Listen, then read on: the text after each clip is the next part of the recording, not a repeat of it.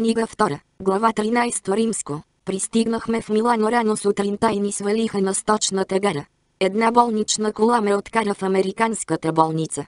Изтегнат върху носилката в колата, аз не можех да си дам сметка през коя част на града минавахме, но като свалиха носилката ми, видях един пазарен площад и едно отворено кафене, дето една жена метеше.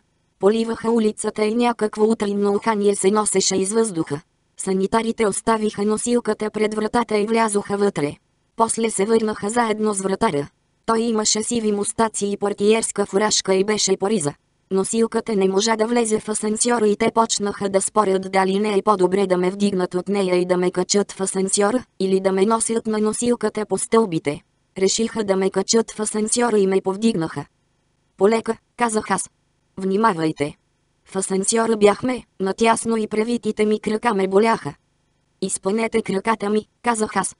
Не можем, господин поручик. Няма място.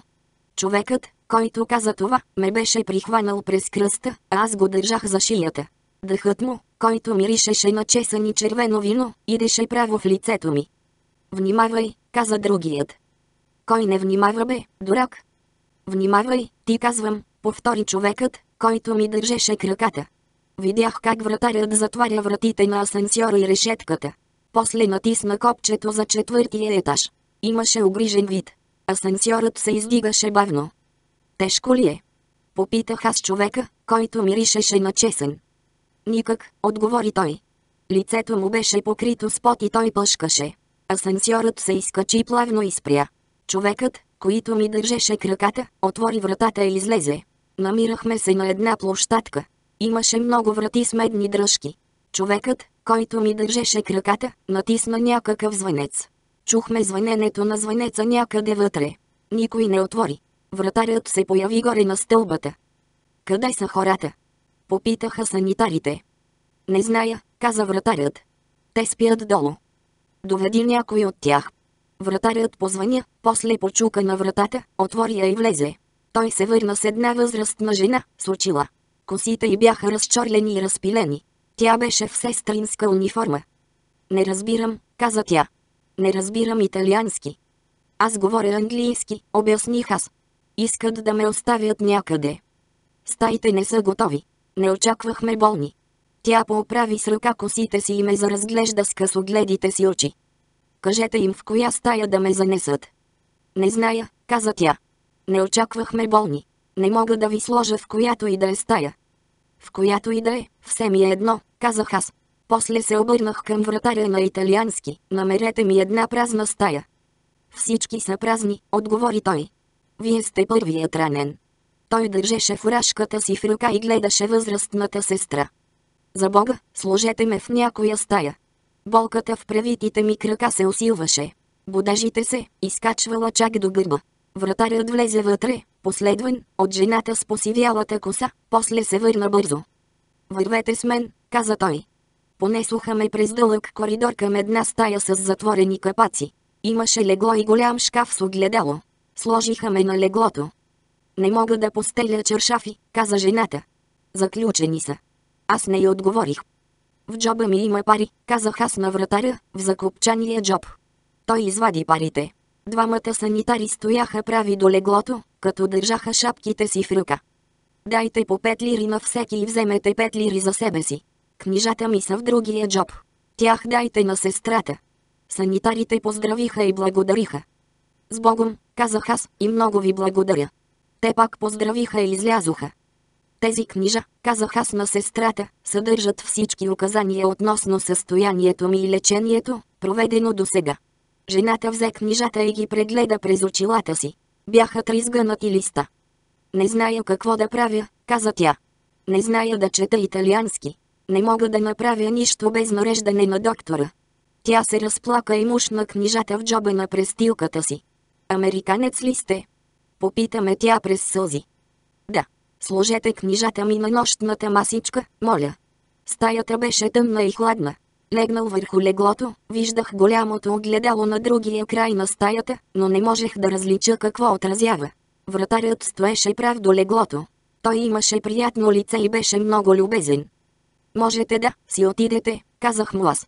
И вие също, обърнах се към сестрата. Как се казвате? Мисис Уокър. Можете да си отидете, мисис Уокър. Ще се опитам да поспя. Останах сам в стаята. Тя беше хладна и не миришеше на болница. Пружината беше стегната и удобна. Лежах неподвижно, не смеех дори да дишам, радостен, че болките намаляват. След малко ми се допи вода. Намерих шнура на звънеца близо до леглото. Позваних, но никой не дойде. Заспах. Когато се събудих, озърнах се наоколо. Слънцето се прокрадваше през капаците. Видях големия шкаф, голите стени и два стола. Краката ми в замърсените превръзки стърчаха изпънати извън леглото. Внимавах да не ги движа. Бях жаден. Пресегнах се към звънеца и натиснах копчето. Чух, че вратата се отвори.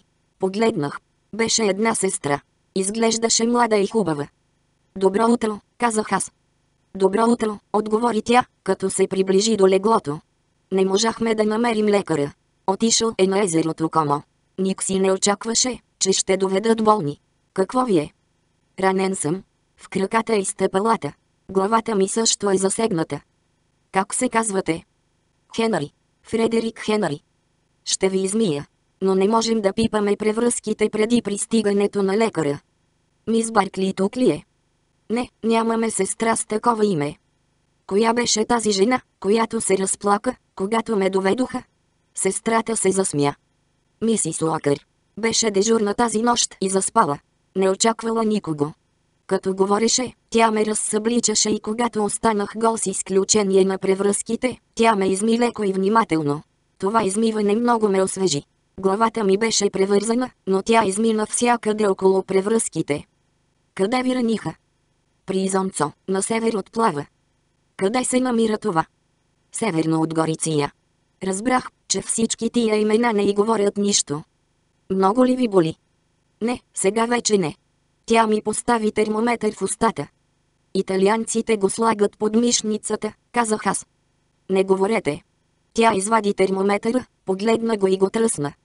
Каква е температурата ми? Нямате право да знаете. И е все пак кажете ми. Почти нормална. Никога не получавам треска. Краката ми са пълни с парчета желязо. Какво искате да кажете? Пълни с парченца от снаряди, стари винтове, пружини, един куп неща. Тя поклати глава и се усмихна. Ако имаше чужди тела в краката ви, щяхте да имате възпаление и температура.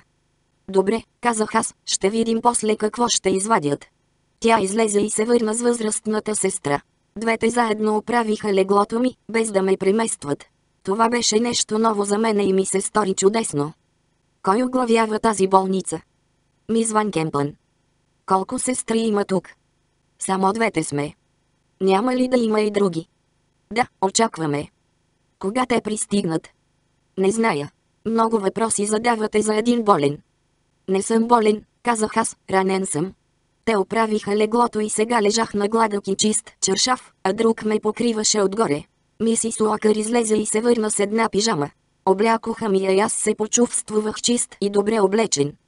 Вие сте много мили към мене, казах аз. Сестрата, наречена мис Гейдж, се изсмя. Бихте ли ми донесли чаша вода? Попитах аз. Разбира се, а после ще закусите. Не искам да закусвам. Моля, отворете капаците, ако обичате.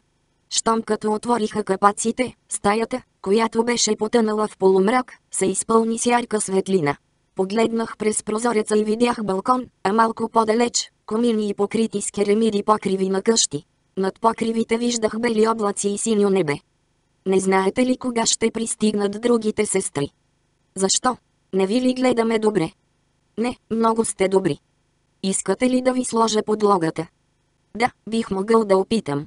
Те ми помогнаха да се надигна и ме прикрепяха, но на празно. После пак си легнах и почнах да разглеждам балкона през отворената врата. Кога ще дойде лекарят? Щом се върне. Опитахме да му телефонираме на Комо. Нямате ли други лекари? Той е лекарят на болницата. Мис Гейдж донесе кана с вода и чаша. Изпих три чаши, после те ме оставиха сам. Аз погледах известно време през прозореца и заспах. Обядвах, а след обед управителката на болницата ми извън Кемпън дойде да ме види. Аз не й харесах и тя не ми хареса. Беше дребна на ръст, мнителна и твърде високомерна за положението си. Зададе ми много въпроси и даде да се разбере, че намира за унизително да се служи в италианската армия. Ще мога ли да получавам вино с храната? Попитах аз. Само ако предпише лекарът. Не мога ли да получа, преди той да пристигне? В никакъв случай. Имате ли намерение да го извикате някой ден? Телефонирахме му на езерото Комо. Тя си отиде и мис Гейдж се върна. Защо бяхте тъй груб към мис Ван Кемпън? Попита тя, след като сръчно ме поправи тук и там. Нямах никакво намерение да бъда груб, но тя е една надута поика. Каза ми, че сте властен и груб. Ни най-малко. Но как може в една болница да няма лекар? Той ще дойде. Телефонирахме му на езерото Комо. Какво прави там? Плува ли? Не, има клиника. Защо не вземете друг лекар? Хайде, хайде. Бъдете добро момче и той ще дойде. Накарах да повикат вратаря и когато той дойде, помолих го на италиански да отиде да ми купи бутилка чинцано, една кианти, вечерните вестници. Той отиде и донесе шишетата, увити във вестник, развити и по моя молба ги отпуши и ги сложи под леглото. Оставиха ме сам и аз взех да чета вестниците, новините от фронта и списъка на убитите офицери с техните отличия. После се пресегнах под леглото за бутилката чинца, но я сложих изправена на корема си, като опрях хладното стъкло до кожата си. Отпивах на малки глътки и слагах шишето отново на корема си, а кръглото му дъно се отпечатваше на кожата ми. Гледах как нощта се спуща над покривите на града. Лястовици и нощни ястреби се виеха над покривите, гледах ги как кръжат и пиех чинцано. Мис Гейч ми донесе една чаша разбити жълтъци с захар. Скрих бутилката от другата страна на леглото, когато влезе тя. Мис Ван Кемпън сложи и малко ром, каза тя. Не бива да бъдете груб към нея. Тя не е вече млада и тази болница е тежка отговорност за нея. Мисис Локър е много стара и не е никаква помощ. Тя е прекрасна жена, казах аз. Предайте и моите благодарности. Сега ще ви донеса вечерята, каза тя. Добре, но не съм гладен. Тя донесе таблата и я сложи на леглото. Благодарих и хапнах малко. Вън беше вече съвсем тъмно и аз виждах светлинните снопове на прожекторите да шарят по небето. Погледах ги малко, после заспах. Спах дълбоко, но веднъж се събудих целият в пот и изплашен, после пак заспах, като се мъчех да отбягна лошите сънища. Събудих се напълно, преди да съмне. Чух да пеят петли и останах буден, докато се съзори. Бях уморен и когато съвсем се развиделя, заспах отново. Глава 14 Римско. Когато се събудих, ярка слънчева светлина изпълваше стаята. Помислих, че съм на фронта и се протегнах в леглото. Почувствувах остра болка в краката. Погледнах мръсните превръзки и си припомних къде съм. Посегнах към шнура на звънеца и натиснах копчето. Звънчето се чу в коридора. Някой се приближаваше с гумени подметки. Беше мис Гейдж. На силна дневна светлина тя изглеждаше малко по-стара и не така хубава. Добро утро, каза тя. Добре ли спахте? Да, благодаря, казах аз. Ще може ли да ме обръснат? Идвах да ви навестя и ви намерих заспал с това до вас. Тя отводи шкафа и ми показа бутилката вермут. Беше почти празна. Прибрах тук и другото шише, което беше под леглото, каза тя. Защо не ми поискахте чаша? Страх ме беше, че ще ми откажете. Не, щях да пия с вас. Вие сте чудесно момиче. Не е хубаво да пиете сам, каза ми тя. Не бива повече да го правите. Добре. Вашата приятелка, мис Баркли, пристигна, каза тя. Наистина ли? Да, но не ми харесва. Ще ви хареса. Много е мила. Тя поклати глава. Не се съмнявам, че е прекрасна. Можете ли да се преместите малко на тази страна? Така. Ще ви измия за закуска. Тя ме изтри скърпа, натопена в топла сапунена вода. Вдигнете си ръката, каза тя. Много добре. Ще може ли да ме обръснат, преди да закуся? Ще пратя вратаря да потърси бръснар. Тя излезе и се върна. Отиде да го доведе, каза тя и натопи кърпата в легена с вода. Бръснарят дойде с вратаря. Трябва да беше на 50 години и имаше засукани мустаци. Мис Гейдж беше свършила работата си и бръснарят ми насапониса лицето и започна да ме бръсне. Той се държеше много важно и не отваряше уста. Защо мълчите? Попитах аз. Не знаете ли някои новини? Какви новини? Каквито и да е. Какво става из града? Сега е война, каза той. Неприятелските уши слушат навсякъде. Аз вдигнах очи към него. Стойте мирно, каза той, като продължаваше да ме бръсне. Няма да кажа нищо. Но какво ви е? Попитах аз. Аз съм италянец. Не искам да имам никакви сношения с неприятеля. Не настоях повече. Навярно беше лут и колкото по-малко стоях под бръснача му, толкова по-добре. По едно време се опитах да погледна лицето му. Внимавайте, каза той. Бръсначът е остър. Когато свърши, платих му и му дадох половин лира за почерпка. Той ми върна парите. Не, аз не съм на фронта, но съм италянец. Махайте се от главата ми. С ваше позволение, отвърна той и зави бръснача си във вестник. Той излезе и остави петте медни монети на нощната масичка. Аз позваних. Мис Гайдж влезе. Моля ви, повикайте вратаря. Веднага. Вратарят влезе. Едва се издържаше да не се засмее. Лут ли е този бръснар? Не, синьорино. Сбъркал. Не ме чул добре и си помислил, че сте австрийски офицер. О! Казах аз. Вратарят се затресе от смях. Ха-ха-ха. Колко беше смешен. Само да шавнеше, казва, и щях да го. Той прекара показалец по шията си. Ха-ха-ха. Можеше да удържи смеха си. Когато му казах, че не сте австриец. Ха-ха-ха. Ха-ха-ха, казах аз горчиво. Наистина смешно щеше да бъде да ми беше прерязал гръкляна. Ха-ха-ха. Не, синьорино, не, не. Но да се страхува толкова от един австриец. Ха-ха-ха. Ха-ха-ха. Казах аз. Махайте се от главата ми. Той излезе и аз го чух, че се смее в коридора. Чух стъпки, които се приближаваха. Обърнах очи към вратата. Беше Кетрин Баркли. Тя влезе в стаята и се приближи до леглото ми. Здравей, мили, каза тя. Беше свежа, млада и много красива. Стори ми се, че никога не съм виждал толкова красива жена. Здравей! Казах аз. Когато я видях, почувствувах, че съм влюбен в нея. Цялото ми същество се преобърна. Тя хвърли поглед към вратата, за да се увери, че няма никой. После седна на ръба на леглото, наведе се и ме целуна. Аз я притеглих към себе си и я целунах. Усетих сърцето и да бие. Любов моя, казах аз, колко е хубаво, че дойде. Това не беше мъчно, каза тя. Може би ще е по-мъчно да остана. Трябва да останеш, казах аз. Колко си прелестна. Бях луд по нея.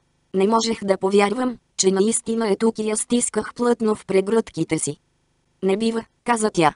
Още не си съвсем добре. Добре съм, хайде ела, моля те. Не, още си много слаб. Не съм слаб. О, моля ти се. Обичаш ли ме наистина? Да, обичам те. Обичам те до лудост. Моля те, хайде. Чуй как бият сърцата ни. Не ме интересуват сърцата. Искам те тебе. Луд съм за тебе. Наистина ли ме обичаш? Не повтаряй все едно и също. Хайде ела, моля те, моля те, Кетрин. Добре, но само за минутка. Да, казах аз. Затвори вратата. Ти не можеш. Не бива. Не. Ела. Не приказвай. О, моля ти се ела. Кетрин седеше на стола до леглото. Вратата беше отворена. Буйната ми страст се беше отеложила и аз се чувствувах по-добре от всякога. Тя ме попита. Сега вярваш ли, че те обичам? Ти си прелестна, казах аз. Трябва да останеш. Не могат да те отпратят. Обичам те безумно. Трябва да бъдем много предпазливи. Това беше истинско безумие. Не бива да го повтаряме. Можем, през нощта.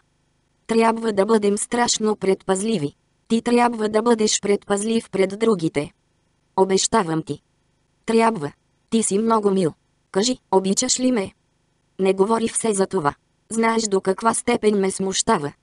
Ще внимавам. Не искам повече да те смущавам. Трябва да си тръгвам, скъпи, наистина трябва. Върни се веднага. Ще се върна, щом мога. Довиждане. Довиждане, мили. Тя излезе.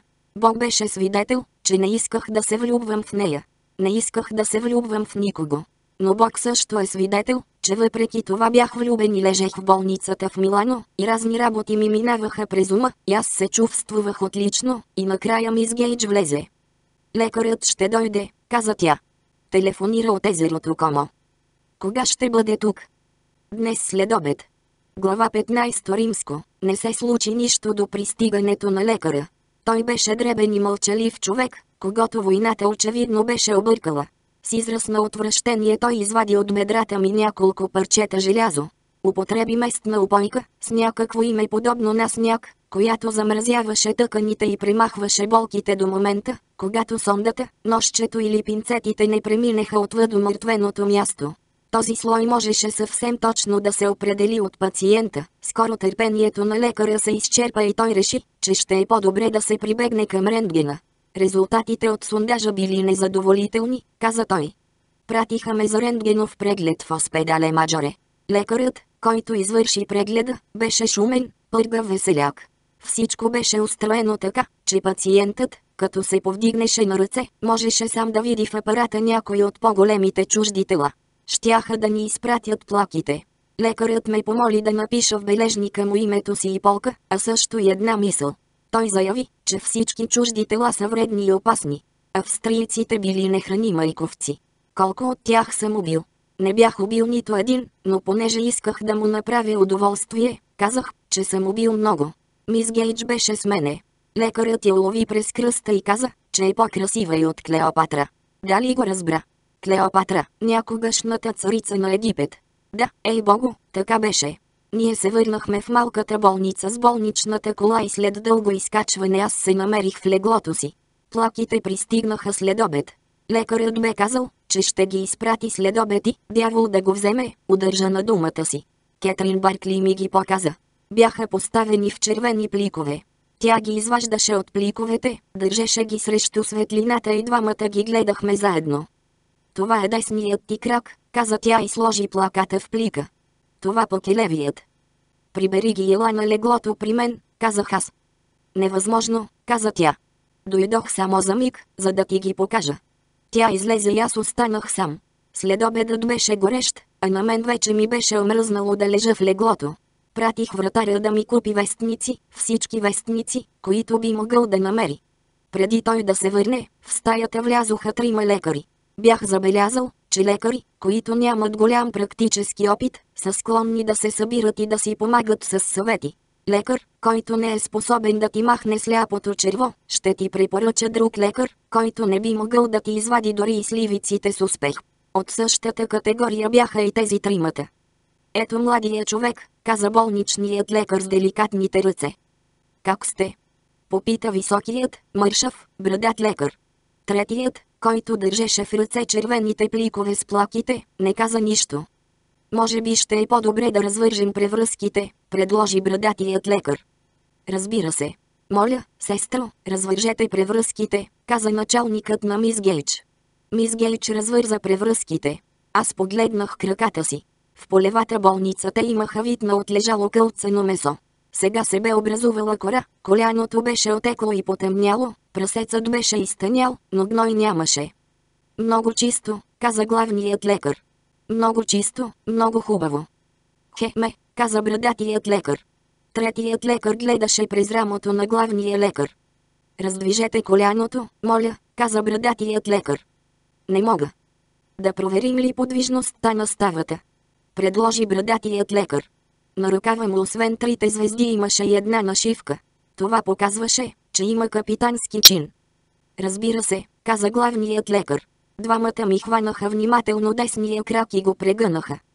Боли, казах аз. Да, да, още малко, докторе. Стига, не може повече, казах аз. Няма пълна подвижност, каза младшият лекар. Той се изправи. Мога ли да видя още веднъж снимките, докторе? Третият лекар му подаде една от плаките. Не, левия крак, ако обичате. Това е левият крак, докторе. Имате право. Аз гледах под друг ъгъл. Той върна плаката. После прегледа и другата. Виждате ли, докторе? Той показа едно от чуждите тела, което съвсем ясно личеше срещу светлината. Известно време те разглеждаха снимката. Мога да кажа само едно, каза брадатият лекар. Това е въпрос на време, три месеца, а може би и шест. Трябва, разбира се, да се остави синовиалната течност да се възстанови. Разбира се, това е въпрос на време. Безсъвестно би било да отворя коляно като това, преди да се е енцистирало парчето. И аз съм на вашето мнение, докторе. Шест месеца за какво? Попитах аз. 6 месеца, за да се обвие чуждото тяло и да мога да оперирам коляното сполучливо. Не съм убеден в това, казах аз. Искате ли да спасите коляното си, млади момко? Не, казах аз. Какво? Искам да ми го отрежат и да ми сложат кука. Какво искате? Кука ли? Той се шегува, каза главният лекар. Той ме потупа много деликатно по рамото. Разбира се, че иска да си спаси коляното. Много храбър момък. Представене за сребърен орден. Моите поздравления, каза младшият лекар. Той ми стисна ръката. Мога само да ви кажа, че ако искате да се избегне всякакъв риск, ще трябва да почакате 6 месеца, преди да се отвори коляното ви. А вие сте свободен да имате каквото си щете мнение.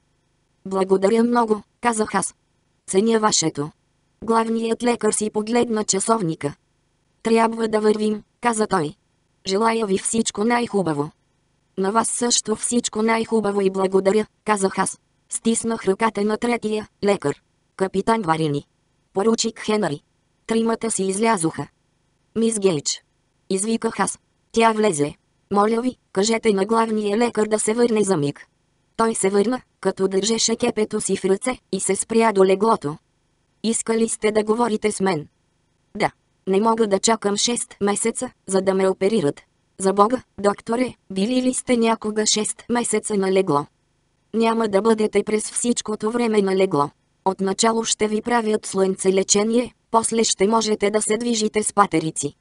В продължение на 6 месеца, а после операции.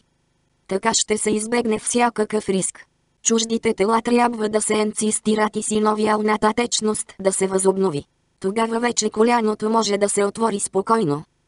Вие самият вярвате ли наистина, че ще трябва да чакам толкова време? Така ще се избегне всякакъв риск. Кой е този лекар? Един отличен хирург от Милано. Той е младши лекар, нали? Да, но е отличен хирург. Не искам някакъв младши лекар да си играе с коляното ми. Ако беше наистина добър, щеше да бъде старши лекар. Знам какво е младши лекар, докторе. Той е отличен хирург и аз предпочитам неговото мнение пред това на всички други хирурзи, които познавам. Не може ли някой друг хирург да ме види? Разбира се, ако искате. Но колкото за мене, бих следвал мнението на доктор Барела. Бихте ли могли да повикате и друг някой хирург да види крака ми? Ще повикам Валентини. Кой е той? Хирургът на Оспедале Маджоре. Добре. Ще ви бъда много признателен. Нали разбирате, докторе, не мога да остана 6 месеца на легло. Няма да останете на легло. Първо ще ви правят слънцелечение, после ще преминете към леки упражнения и когато се образува обвивката, ще ви оперират. Но аз не мога да чакам 6 месеца. Докторът прокара деликатните си пръсти по кепето и се усмихна. Толкова ли бързате да се върнете на фронта? А защо не? Това е много хубаво, каза той. Вие сте доблестен млад човек. Той се наведе и ме целуна леко по челото. Ще повикам Валентини. Не се безпокойте и не нервничете. Бъдете разумен. Ще пиенете ли една чаша? Попитах аз. Не, благодаря. Не пие алкохол. Само една. Позваних на вратаря да донесе две чаши. Не, не, благодаря. Чакат ме. Довиждане, казах аз. Довиждане. Два часа по-късно доктор Валентини влезе в стаята ми. Той бързаше много и краищата на мустаците му стърчаха нагоре. Имаше чин майор. Лицето му беше мургаво и той се смееше през цялото време. Как си докарахте тази мръсотия? Попитаме той. Дайте да видя плаките. Да, да. Ето, това е. Изглеждате здрав като бик. Коя е тази красива девойка? Вашата приятелка? Така си мислех. Каква проклета война, нали? Чувствувате ли нещо? Вие сте храбро момче. Ще ви направя като нов. Боли ли? Казвате, че боли. Ах, тези доктори, как обичат да ви мъчат, нали? Какво лечение са прилагали до сега? Това момиче говори ли италиански? Трябва да се научи. Каква красива девойка. Аз бих могъл да й давам уроци. Сам бих искал да съм тук на лечение. Не, но ще акуширам безплатно. Тя разбира ли какво казвам? Тя ще ви роди едно хубаво момченце, едно хубаво, русичко, като нея. Добре, добре, чудесно. Каква красива девойка. Попитайте я дали иска да дойде да вечеря с мене. Не, няма да ви я отнема. Благодаря, благодаря много, госпожице. Това е всичко, което исках да зная. Той ме потупа по рамото. Не слагайте превръзката. Ще пиете ли една чаша, доктор Валентини? Една чаша. Разбира се. Десет дори, ако искате. Но къде са? В шкафа. Мис Баркли ще донесе шишето. За ваше здраве. За ваше здраве, госпожице. Каква красива девойка. Ще ви донеса по-хубав коняк от този. Той си изтри мустаците. Кога мислите, че ще можете да ме оперирате? Утре зарен. Не по-рано. Трябва стомахът ви да бъде празен. Трябва да вземете очистително. Ще видя старата госпожа долу и ще й дам наставления. Довиждане. До утре. Ще ви донеса по-хубав коняк от този. Тук при вас е много приятно. Довиждане. До утре. Наспете се добре. Ще дойде рано. На прага той махна с ръка. Мустаците му стърчаха нагоре. Мургавото му лице се усмихваше. Той беше старши лекар и имаше звезда на ръкава си, обточена с ширит. Глава 16 Римско Тази нощ един прилеп влезе в стаята през балконската врата, през която гледахме нощта над покривите на града. В стаята беше тъмно, едва-едва проникваха слаби и неясни светлини на града и прилепът не се изплаши, а продължи лова си из стаята, сякаш се намираме на открито. Ние лежахме и го гледахме, но бяхме тъй неподвижни, че той не забелязваше нашето присъствие. След като отлетя, видяхме светлинния сноп на един прожектор, който прекоси небето и изчезна. После пак настъпи тъмнина. Задуха лег ветрец и ние чухме дежурните зенитчици да приказват на съседния покрив. Беше хладно и те се загръщаха в шинелите си. Боях се да не дойде някой и да ни свари, но Кетрин каза, че всички спят. По някое време на нощта заспахме, а като се събудих, не я намерих до себе си, но чух стъпките и в коридора, вратата се отвори и тя се приближи до леглото и каза, че всичко е вред. Като слязла долу, всички спели. Ослушала се на вратата на мис Ван Кемпън и я чула, че диша дълбоко. Тя донесе бисквити, започнахме да ги ядем и да пием вермут. Бяхме много гладни, но тя ми каза, че след няколко часа ще трябва да се освободя от всичко това. На разсъмване заспах отново и когато се събудих, видях, че си беше отишла. После тя пак дойде, свежа и красива, и седна на леглото. Слънцето изгря, докато лежех с термометъра в уста, а мирисът на русата върху покривите достигна до нас заедно с уханието на кафето, което зенитчиците пиеха на съседния покрив. Колко бих искала да отидем на разходка, каза Кетрин. Ако имахме стол с колелца, бих могла да те повозя. Как ще седна в такъв стол? Все ще се намери начин. Бихме могли да отидем до парка и да закусим навън. Аз погледнах през отворената врата. Да, а сега, каза тя, трябва да те приготвя за посещението на твоя приятел, доктор Валентини. Намирам го чудесен. На мене не ми харесва толкова, колкото на тебе, но сигурно е много добър лекар. Ела си легни пак, Кетрин. Моля те, казах аз. Не бива. Не прекарахме ли една чудна нощ? А не можеш ли и тази нощ да бъдеш дежурна? Сигурно ще мога, но ти няма да ме искаш. Ще те искам. Не. Ти никога не си бил опериран и не знаеш в какво състояние ще бъдеш. Знам. В добро. Не, ще се чувствуваш зле и няма да ми обърнеш никакво внимание. Тогава ела сега. Не, каза тя. Трябва да впиша температурата ти, мили, и да те приготвя. Ти не ме обичаш. Ако ме обичаше истински, щеше да дойдеш. Глупчо. Тя ме целуна, листът ти е вред. Температурата ти винаги е нормална. Имаш чудесна температура. И ти също си чудесна. Не, не, но температурата ти е чудесна. Просто се гордея с твоята температура. Децата ни ще имат навярно също хубава температура. Децата ни ще имат сигурно ужасна температура. Какво трябва да правиш, за да ме приготвиш за посещението на доктор Валентини? Дребни работи, но не много приятни. Яд ме е, че тъкмо ти трябва да ги правиш. А мене не. Не искам никой друг да те пипа.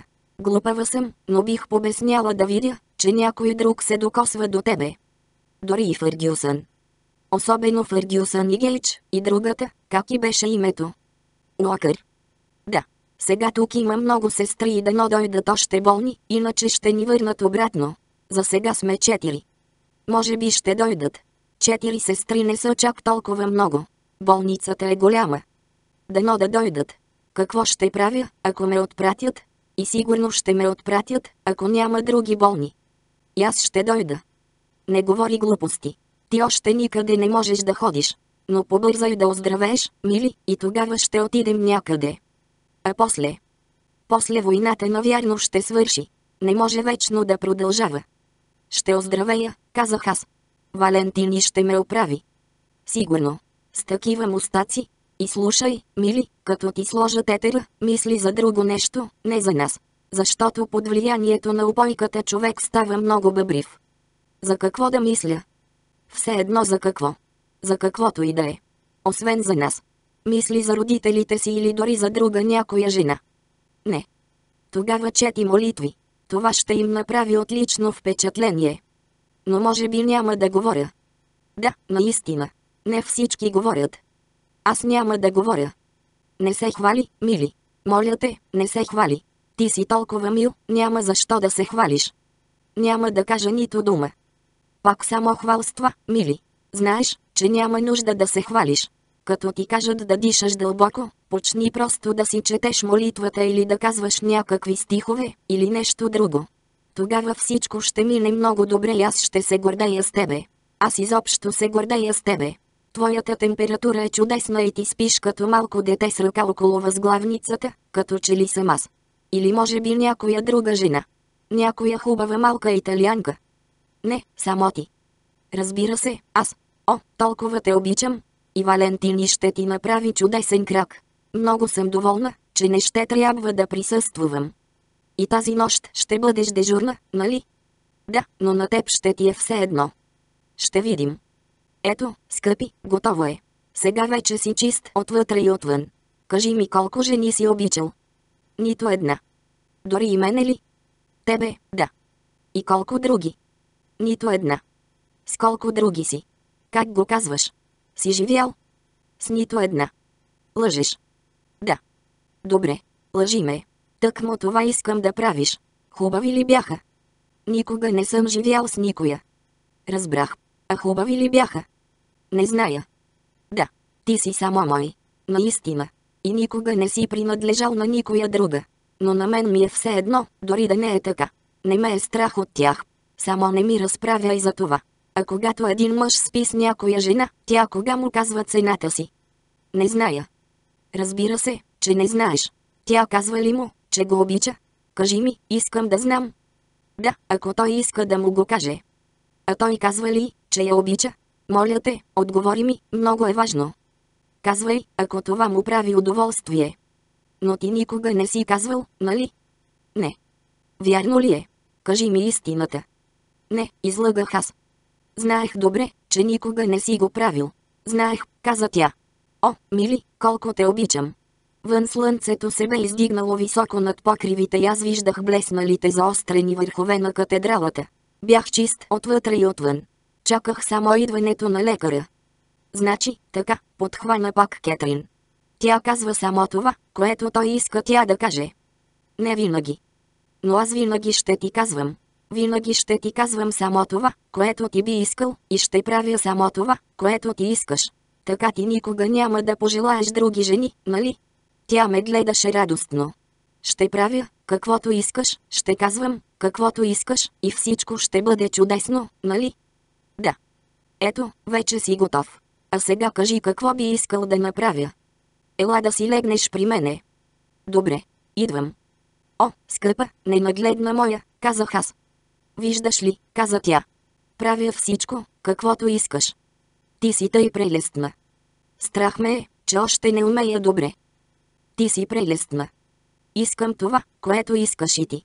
Аз повече не съществувам. Само това, което искаш ти. Любов моя. Е, доволен ли си сега? И нямаш желание за други жени, нали? Не. Виждаш ли колко съм добра? Правя всичко, което ти искаш. Глава 17 Римско Когато се събудих след операцията, разбрах, че не бях престанал да съществувам. Не преставаш да съществуваш. Само се задушаваш. Това не прилича на смъртта.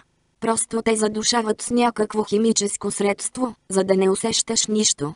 А след това имаш чувството, като че си се напил, само че като повръщаш, нищо друго не излиза освен жлъчка и от това не ти става по-добре. В подножието на леглото видях турбички с пясък. Бяха окачени на тръбички, които стърчаха от гипсовите превръзки. След миг видях мис Гейч и тя ми каза. Как се чувствувате сега? По-добре, отвърнах аз. Той извърши истинско чудо с коляното ви. Колко време трая? Два часа и половина. Говорих ли глупости? Нито дума. Не говорете. Стойте спокойно. Повдигаше ми се. Кетрин имаше право. Беше ми все едно кой ще дежури тази нощ. Сега в болницата имаше още трима войника. Едно слабичко момче от Джорджия, което работеше в Червения кръст и страдаше от малария. Едно симпатично и също слабичко на вид момче от Нью Йорк, болно от жълтеница и малария. И едно друго, което се бе опитало да развърти запалката на един шрапнел, зареден с силен експлозив, за да си я вземе за спомен. Австрийците използваха такива комбинирани снаряди в планините. След като снарядът избухне, запалката изхвърква и експлодира при допир. Всички сестри обичаха Кетрин Баркли, защото тя винаги с охота приемаше да дежури нощем. Болните от малария не й създаваха много грижи, а този, който се бе опитал да разглоби шрапнела, беше наш приятел и никога не звънеше нощем освен в крайна нужда. Така че цялото си свободно време тя прекарваше с мен. Аз я обичах много и тя ме обичаше. Денем спях, а когато бяхме будни, цял ден си пишехме записки, които си пращахме чрез Фъргюсън. Тя беше добро момиче. Не знаех нищо за нея, освен че има един брат в 52-а дивизия и един в Месопотамия.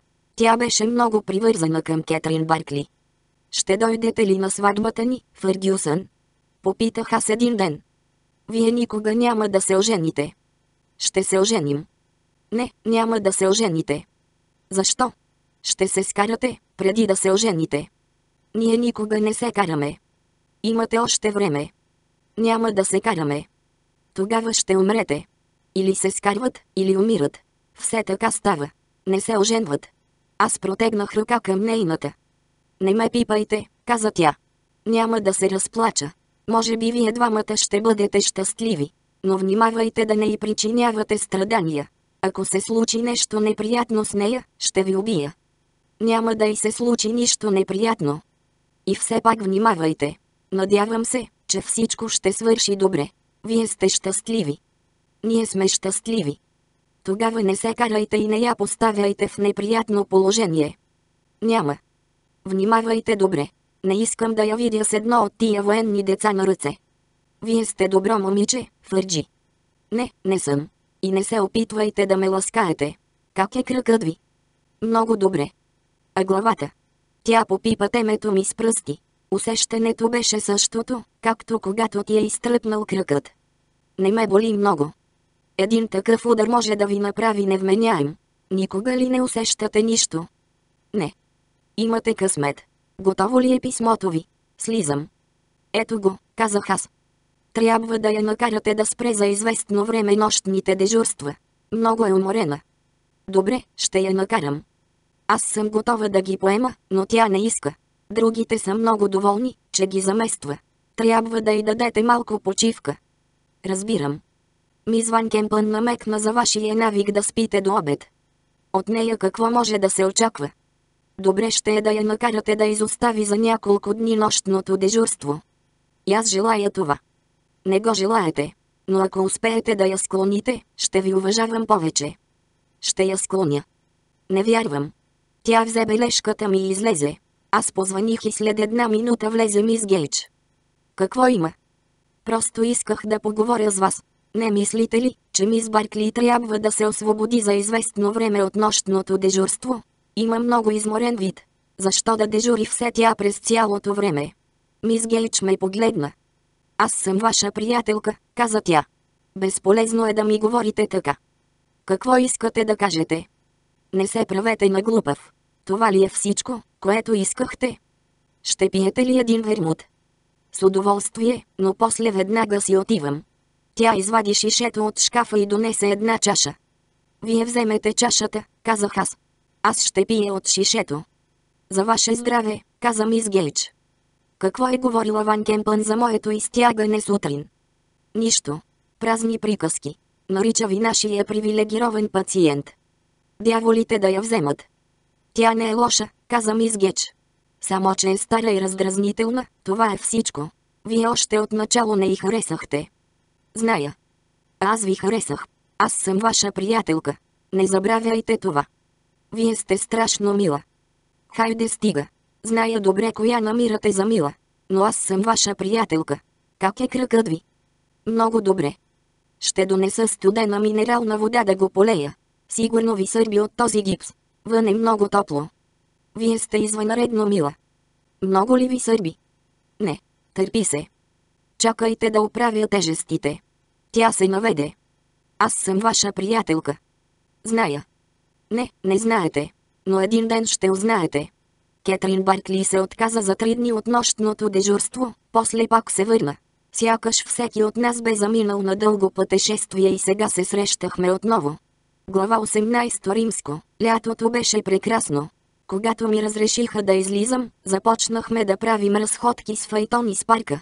Спомням си файтона, бавно пристъпващия кон, гърба на коларя пред нас с високия лъскав цилиндър и Кетрин Баркли, седнала до мен.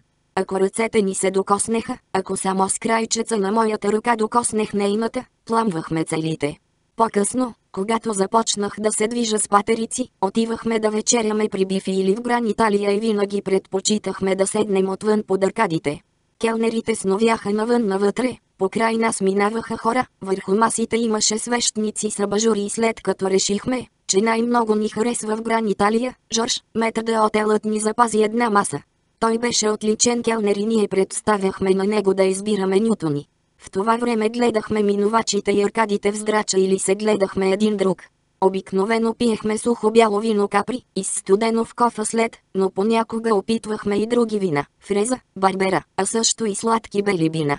Поради войната в ресторанта нямаше специален келнер за вината и Жорж се усмихваше смутено, когато му поръчвахме вина като фреза. Какво ще кажете за една страна, която произвежда вино само заради ягодовия му вкус, каза ни той. И защо не, попита Кетрин, това е чудесно. Щом желаете, опитайте го, госпожо, каза Жорж, но ми позволете да донеса една малка бутилка Марго за господин поручика. И аз искам да го опитам, Жорж, казах аз. Господине, не ви го препоръчвам. То дори няма вкуса на ягода. А може и да има, каза Кетрин. Би било чудесно, ако има вкус на ягода. Ще ви донеса от него, каза Жорж, и когато госпожата се увери, пак ще го отнеса. Виното наистина не беше нещо особено. Както бе казал Жорж, дори нямаше вкус на ягоди. Затова пак се върнахме към Капри. Една вечер, когато парите ми бяха малко, Жорж ми зае 100 лири. Не се безпокойте, господин поручик, каза той. Знам какво е. Случва се човек да остане без пари. Ако вие или госпожата имате нужда, аз всякога мога да ви заема. След вечеря се разхождахме по дъркадите, по край другите ресторанти и магазините с спуснати железни рулетки, спирахме се на малкия площад, където продаваха сандвичи, сандвичи с шунка, сандвичи с аншуа, направени от малки кафяви кифлички, не по-дълги от показалеца. Ядяхме ги нощем, когато огладнеехме. После вземахме един файтон пред аркадите срещу катедралата и се връщахме в болницата. На вратата на болницата нашият вратар идваше да ми помогне да сляза. Плащах на колара и се качвахме в асансьора. Кетрин се спираше на първия етаж, където бяха настанени сестрите. Аз продължавах и опирайки се на патериците, стигах до стаята си. Понякога се събличах и си лягах, понякога сядах на балкона, с крак, вдигнат върху един стол, гледах лястовиците как хвърчат над покривите и чаках Кетрин. Когато тя дойдеше, аз имах чувството, че пристига от някое дълго пътешествие. Тръгвах след нея по коридора, подпирайки се на патериците. Носех легените и чаках на вратата или влизах с нея при ранените, в зависимост от това дали ни бяха приятели или не. И когато тя свършваше работата си, сядахме на балкона пред моята стая. После аз си лягах и когато всички заспяха и тя беше сигурна, че никой няма да я повика, идваше при мене. Обичах да разпускам косата й. Тя стоеше седнала на леглото, без да мърда, само от време на време се навеждаше внезапно, за да ме целуне, аз разпилявах косата й. Вадех фуркетите един по един и ги слагах върху чершафа. Косите й постепенно се разхлабваха и аз я наблюдавах как седи неподвижно на края на леглото. После свалях двата последни фуркета и всичко се разпиляваше, тя отпущаше глава и ние оставахме заровени под косата и имахме чувството, че сме в някаква палатка или зад водопад. Тя имаше чудно хубави коси. Аз често лежах и я гледах как ги свива при светлината на отворената врата. Те блестяха дори и нощем, както блести понякога водата, преди да се развидели. Тя имаше хубаво лице и тяло и гладка, хубава кожа. Когато лежехме един до друг, аз галех с края на пръстите си бузите й, челото й, очите, брадата, шията и казвах, гладко като клавиши на пяно. Тогава тя прокарваше пръст по брадата ми и казваше, гладко като глас папир и много твърдо за клавишите. Толкова ли драска? Не, мили, това беше само шега. Нощите бяха дивни, стигаше ни само да се докоснем един друг и вече бяхме щастливи. Извън миговете на голяма наслада имахме и безброй дребни начини да изразяваме обичта си и когато не бяхме заедно, се мъчехме да си предаваме мислите. Понякога това като че ни се удаваше, но то беше само защото навярно и двама мислехме едновременно за едно и също нещо. Обичахме да си представяме, че сме женени още от деня на нейното пристигане в болницата и брояхме месеците на нашия съвместен живот. Аз наистина желаях да се оженим, но Кетрин казваше, че ако сме женени, ще я отпратят. Дори само ако почнехме да уреждаме формалностите, тя вече щеше да бъде под наблюдение и щяха да ни разделят. Трябваше да се оженим по италианските закони, а формалностите бяха ужасни. Аз наистина исках да се оженим, защото се боях, че може да имаме дете. Когато бяхме двамата, въобразявахме си, че сме женени и си давахме вид, че не се безпокоим. Всъщност аз бях щастлив, че не съм женен. Спомням си как една нощ говорихме за това и Кетрин каза. Но, скъпи, те ще ме отпратят. Не е сигурно. О, сигурно е. Ще ме изпратят в Шотландия и няма да се видим до края на войната. Аз ще взема отпуск. Няма да имаш време да дойдеш до Шотландия и да се върнеш, докато трае отпускът ти. Освен това аз не искам да се деля от тебе. За какво ние да се женим сега? Ние всъщност сме женени.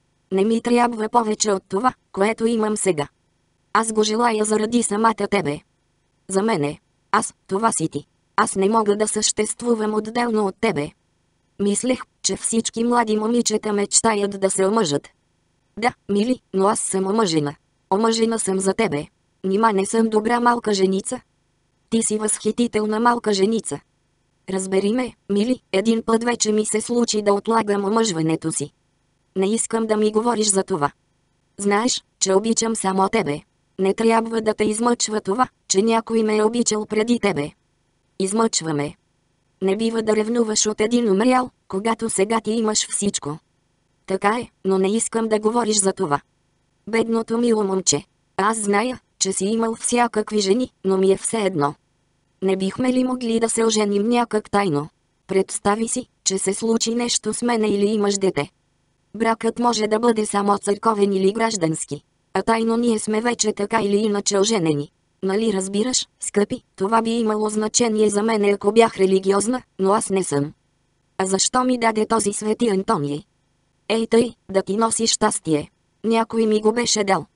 И ти не се тревожиш от нищо, така ли? Само от възможността да бъда разделена от тебе. Ти си моята религия. Само теб имам на света. Добре, но ще се оженя за тебе в деня, когато поискаш. Говориш така, сякаш искаш да направиш от мене една почтена жена, мили. Аз съм почтена. Но не се срамувам от това, което ме прави щастлива и горда. Нима ти не си щастлив?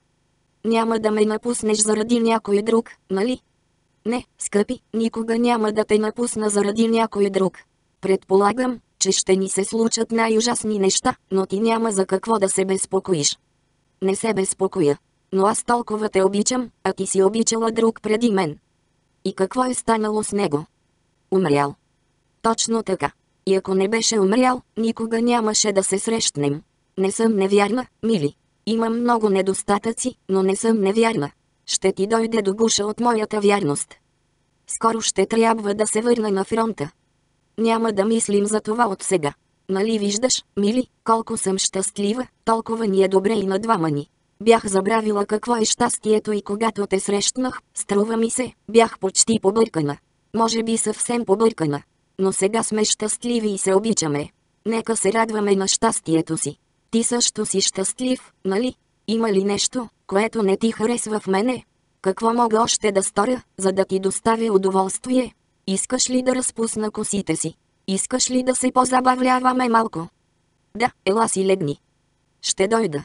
Но първо трябва да отида да обиколя болните си.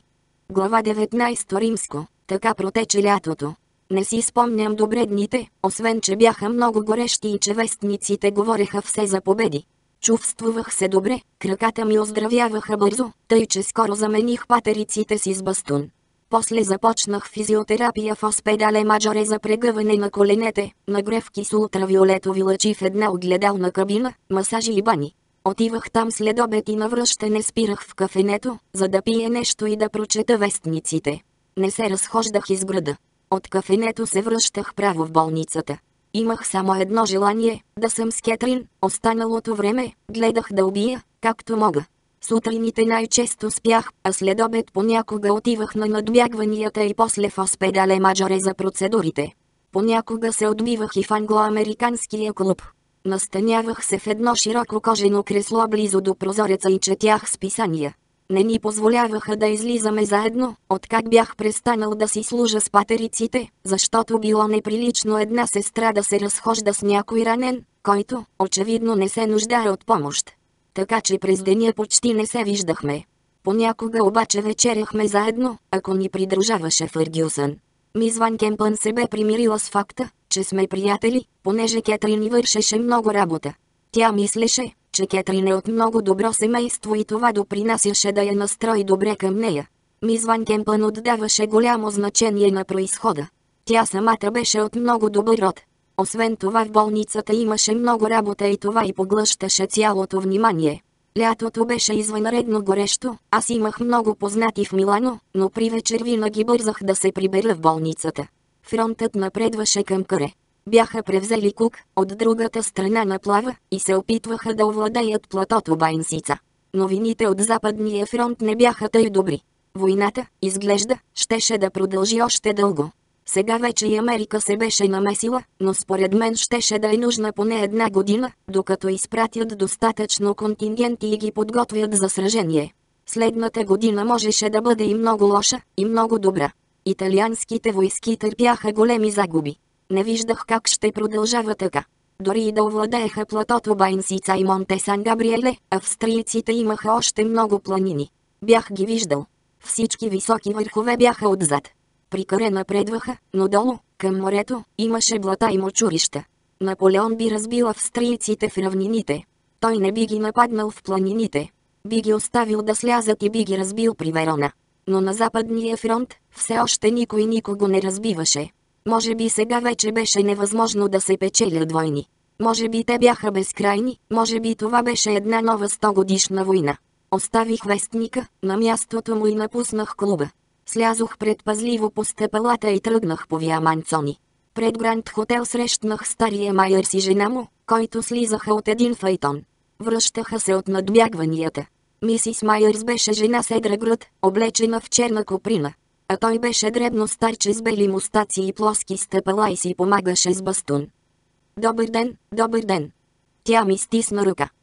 Хело, каза Майерс. Е, как минаха надбягванията? Отлично. Наистина много добре. Имах три печеливши. А вие? Попитах аз Майерс. Аз не бях зле, имах един печеливш. Не мога да разбера как постига това, каза Майерс. Никога не ми казва. Върви ми добре, върви ми, каза Майерс. Той се стараеше да бъде любезен. Трябва и вие да дойдете. Когато говореше, оставяше впечатлението, че не те гледа или че те мисли за някой друг. Непременно, отговорих аз. Ще дойда да ви видя в болницата, каза мисис Майерс. Приготвила съм някои неща за моите момчета. Вие всички сте мои деца. Да, наистина всички сте мои обични деца. Ще се радват да ви видят. Такива мили момчета. И вие също. И вие сте едно от моите момчета. Трябва да си вървя, казах аз. Поздравете всички мои мили момчета. Ще им донеса един куп хубави неща. Вино и сладкиши. Довиждане, казах аз. Те ужасно ще се радват да ви видят. Довиждане, каза Майерс. Елате в галерията. Знаете къде е моята маса. Всеки следобед съм там. Аз тръгнах нагоре по улицата. Исках да купя в кова нещо за Кетрин. Купих и котия шоколадени бомбони и докато продавачката ми я завиваше, отидох на бара. Там седяха двама англичани и няколко летци. Изпих едно мартини, платих, взех котията с бомбоните и тръгнах за болницата. Пред малкия бар на улицата, която водеше към скалата, имаше хора, които познавах. Един вице-консул, двама, които учеха пеене, и Еторе Морети, един италианец от Сан-Франциско, който служеше в италианската армия.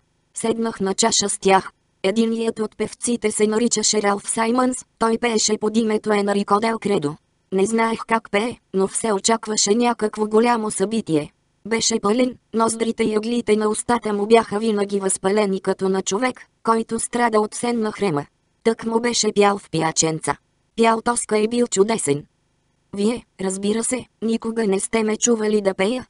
Каза той. Кога ще пеете тук? Тази есен ще бъда в скалата. Обзалагам се, че ще хвърлят пейките върху тебе, каза Еторе. Чували ли сте, че в Модена го замеряха с пейките? Това е долна лъжа. Да, замеряха го с пейките, каза Еторг. Аз сам хвърлих шест. Ти си един мръсен макаронаджия от Фриско.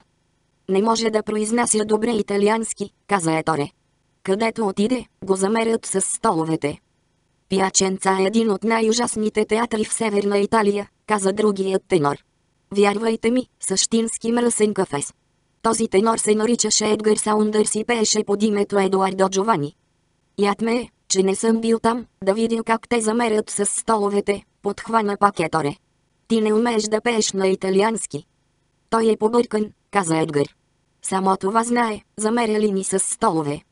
И те знаят само това, когато някой от вас двамата почне да пее, каза Еторе. А после ще се върнете в Америка и ще разправяте за вашите успехи в скалата. В скалата няма да ви оставят да доизпеете дори първата нота. Аз ще пея в скалата, каза Саймънс. Ще пея тоска през октомври. Мак, ще отидем, нали? Каза Еторе на вице-консула. Ще им трябва някой да ги пази. Може би американската армия ще бъде там, за да ги закриля, каза вице-консулът. Ще пиете ли още по една чаша, Саймънс, и ти, Саундърс? С удоволствие, каза Саундърс. Чух да разправят, че ще ли да ти дадат сребърен медал, ми каза Еторе. Какво отличие се надяваш да получиш? Не знам. Не знам дори дали изобщо ще получа. Разбира се, че ще получиш. И да видиш тогава как всички момичета от кова ще тичат подир теб. Те всички ще мислят, че си убил 200 австрийци и си превзел сам Елинокоп. Моите отличия ми струваха доста работа, вярвай ми. Колко имаш, Еторе? Попита вице-консулът. Всичките, каза Саймънс. Заради него се води войната. Два пъти ме представиха за бронзов медал и три пъти за сребърен, каза Еторе. Но получих само един. А другите, какво стана с тях? Операцията пропадна, каза Еторе. Когато операцията пропадне, не дават отличия. Колко пъти си раняван, Еторе? Три пъти тежко. Ето вижте, имам три нашивки. Той обърна ръкава си. Три сребърни ивици, поставени успоредно върху черен фон и зашити върху плата на ръката, приблизително 8 пръста по-долу от рамото. И ти имаш една, каза Еторе. Уверявам те, чудесно е. Аз предпочитам нашивките пред медалите. И нека ти кажа, приятелю, три нашивки не са малко нещо. Дават ти по една за всяка рана и те държат по три месеца в болницата. Къде са тираните, Еторе? Попита вице-консулът. Еторе си запретна ръкава. Ето тука, и той показа дълбокия, гладък червен белек. И на кръка. Не мога да ви я покажа от навоите, и на стъпалото. В него има мъртва кост и страшно смърди. Всяка сутрин чопля малки парченца от нея, но все си смърди. С какво те раниха? С ръчна граната. От ония, които са като преса за картофи. Отнесе ми почти половината от стъпалото. Знаеш ги тези преси, нали? Обърна се той към мене. Разбира се. Видях го мръсника, като я хвърляше, каза Еторе. Стълполих се на земята и си помислих, че няма да ме бъде вече, но в тези проклети преси няма нищо вътре. Убих онзи негодник с пушката си. Все носех пушка, за да не разберат, че съм офицер. Как изглеждаше този тип? Попита Саймънс. Това му беше единствената граната, продължи Еторе. Не знам защо я хвърли. Предполагам, че и тъй просто си е мечтал да запрати една такава граната. Навярно не беше виждал истинска битка. Във всеки случай убих го, мръсника му с мръсник. Как изглеждаше, когато го уби? Попита Саймънс. Откъде да знам, каза Еторе. Умерих го право в корема. Боях се, че ще го пропусна, ако се прицеля в главата. От кога си офицер, Еторе? Попитах аз. От две години. Сега ще ме произведат капитан. А ти от колко време си поручик? Скоро ще станат три години. Не можеш да станеш капитан, понеже не знаеш достатъчно добре италиански, каза Еторе. Можеш да говориш, но не можеш правилно да четеш и пишеш. За да станеш капитан, ти трябва образование. Защо не отидеш в американската войска? Може би ще го направя. И аз бих искал да отида. Колко получава един капитан, мак? Не знам точно. Около 250 долара, струва ми се. Ах, дявол да го вземе, какво мога да направя с 250 долара? Побързай да постъпиш в американската войска, Фред. А после ще гледаш и мен да настаниш. Дадено. Мога да командувам рота на италиански. Но какво ми пречи да се науча и на английски? Ще те произведат генерал, каза Саймънс. Не, не съм достатъчно учен, за да бъда генерал. Един генерал трябва да знае страшно много работи. Вие си мислите, че войната е лесна работа. Нямате достатъчно мозък, за да бъдете дори ефрейтори. Слава богу, не ми и трябва, каза Саймънс. Може би ще ти притрябва някой ден, ако ви съберат, и вас, хайлазите. Ах, как бих искал да ви видя в ротата си. И Мак също. Ще те взема за ординарец, Мак. Ти си чудесно момче, еторе, каза Мак, но се боя, че си милитарист. Искам да стигна до чин полковник, преди да свърши войната. Ако не те убият. Няма да ме убият. Той опипа звездите на яката си с палеца и показалеца си. Видяхте ли какво направих? Винаги пипвам звездите си, когато някой спомене, че може да ме убият. Хайде да си вървим, Саймънс, каза Саундърс, като стана. Хайде. Довиждане, казах аз. И аз трябва да си вървя. Вече беше 6 без четвърт. Чао, Еторе. Чао, Фред, отговори Еторе. Ще бъде наистина чудесно да получиш сребърен медал. Още не е сигурно. Не, не, вече го имаш, Фред. Чух, че ще ли да ти го дадат без всякакви спънки. Добре, довиждане, казах аз. И бъди предпазлив, Еторе. Не се безпокой за мене. Не пия и не тичам по жени. Не съм нито пияница, нито женкар. Зная какво трябва да правя. Довиждане, казах аз. Радвам се, че скоро ще те произведат капитан. Няма да чакам да ме произвеждат. Ще мина направо, за изключителни заслуги. Нали разбираш? Три звезди с кръстосани мечове, с корона отгоре. Това съм аз. На добър час. На добър час. Кога се връщаш на фронта? Скоро. Тогава ще се видим там. Довиждане. Довиждане. И не се оставяй да те измамят. Тръгнах към болницата по една пряка уличка. Еторе беше на 23 години. Отгледан беше от един свой чичо в Сан-Франциско и тък му беше дошъл на гости при родителите си в Торино, когато се обяви войната. Имаше сестра, която бяха изпратили заедно с него в Америка и която тази година завършваше учителски институт. Той принадлежеше към този вид герой, които досаждат на всеки срещнат. Кетрин не можеше да го понася. И ние имаме герой, каза тя, но те са много по-скромни. Аз не му обръщам внимание. И аз не бих му обръщала внимание, ако не беше тъй самомнителен и тъй досаден, о, господи, тъй досаден. И на мене ми досажда. Мило е, че го казваш, но не е необходимо. Ти можеш да си го представиш на фронта, дето знаеш, че е полезен, обаче за мене той представлява само този тип мъже, които мразя. Зная. Много мило от твоя страна, че знаеш. Правя усилия да го обичам, но той е отвратителен, наистина отвратителен. Днес ни каза, че ще го произведат капитан. Чудесно, отговори Кетрин. Това сигурно го радва. Ти не би ли искала и аз да имам по-висок чин? Не, мили. Искам само да имаш такъв чин, че да те допущат в по-добри ресторанти. Тък му такъв чин имам. И той ти стига. Не държа да имаш по-горен чин. Може да ти замае главата. О, мили, толкова съм доволна, че не си самомнителен. И такъв да беше, пак щях да се омъжа за тебе, но толкова е успокоително да имаш съпруг, който не е самомнителен. Говорихме тихичко на балкона. Луната сигурно беше вече изгряла, но над града имаше мъгла и тя не се виждаше. Скоро започна да рами и ние се прибрахме вътре. Мъглата навън се превърна в пороен дъжд и започна да барабани по покрива. Станах и отидох до балконската врата да видя дали не вали вътре, но не валеше и аз оставих вратата отворена. Кого видя още? Попита Кетрин.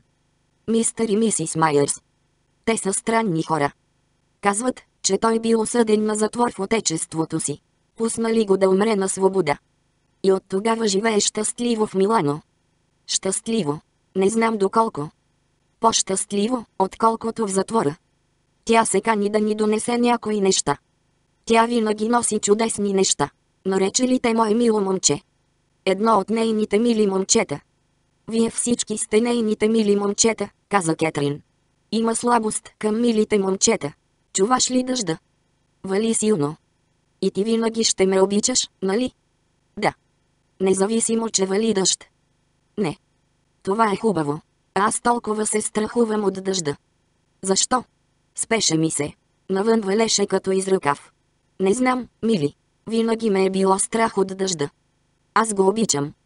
Обичам да се разхождам, когато вали. Но за любовта е лошо. Аз винаги ще те обичам.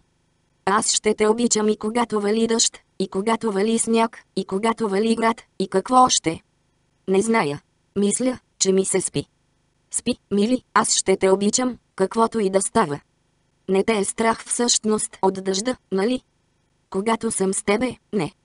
А защо те е страх? Не знам. Кажи ми. Не, не настоявай. Все пак ми кажи. Щом настояваш?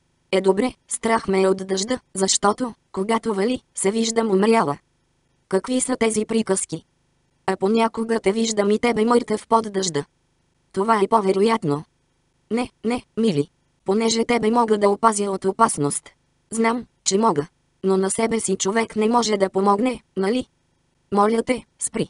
Не искам да ми говориш тази вечер като някаква смахната шотландка. Не ни остава още много време да бъдем заедно. Да, наистина, и все пак. Аз съм си една малко смахната шотландка. Но ще спра. Това са глупости. Да, само глупости. Глупости, нищо друго освен глупости. Не ме е страх от дъжда. Не ме е страх от дъжда. О, господи, толкова бих искала да не ме е страх от дъжда. Тя плачеше. Аз я утеших и тя престана да плаче. Вън продължаваше да вали. Глава 20 Римско. Един следобед отидохме на конните надбягвания. Фърдюсън ни придружаваше, а също и Кроуъл Роджерс, войникът, който беше ранен в очите от експлодиралата граната.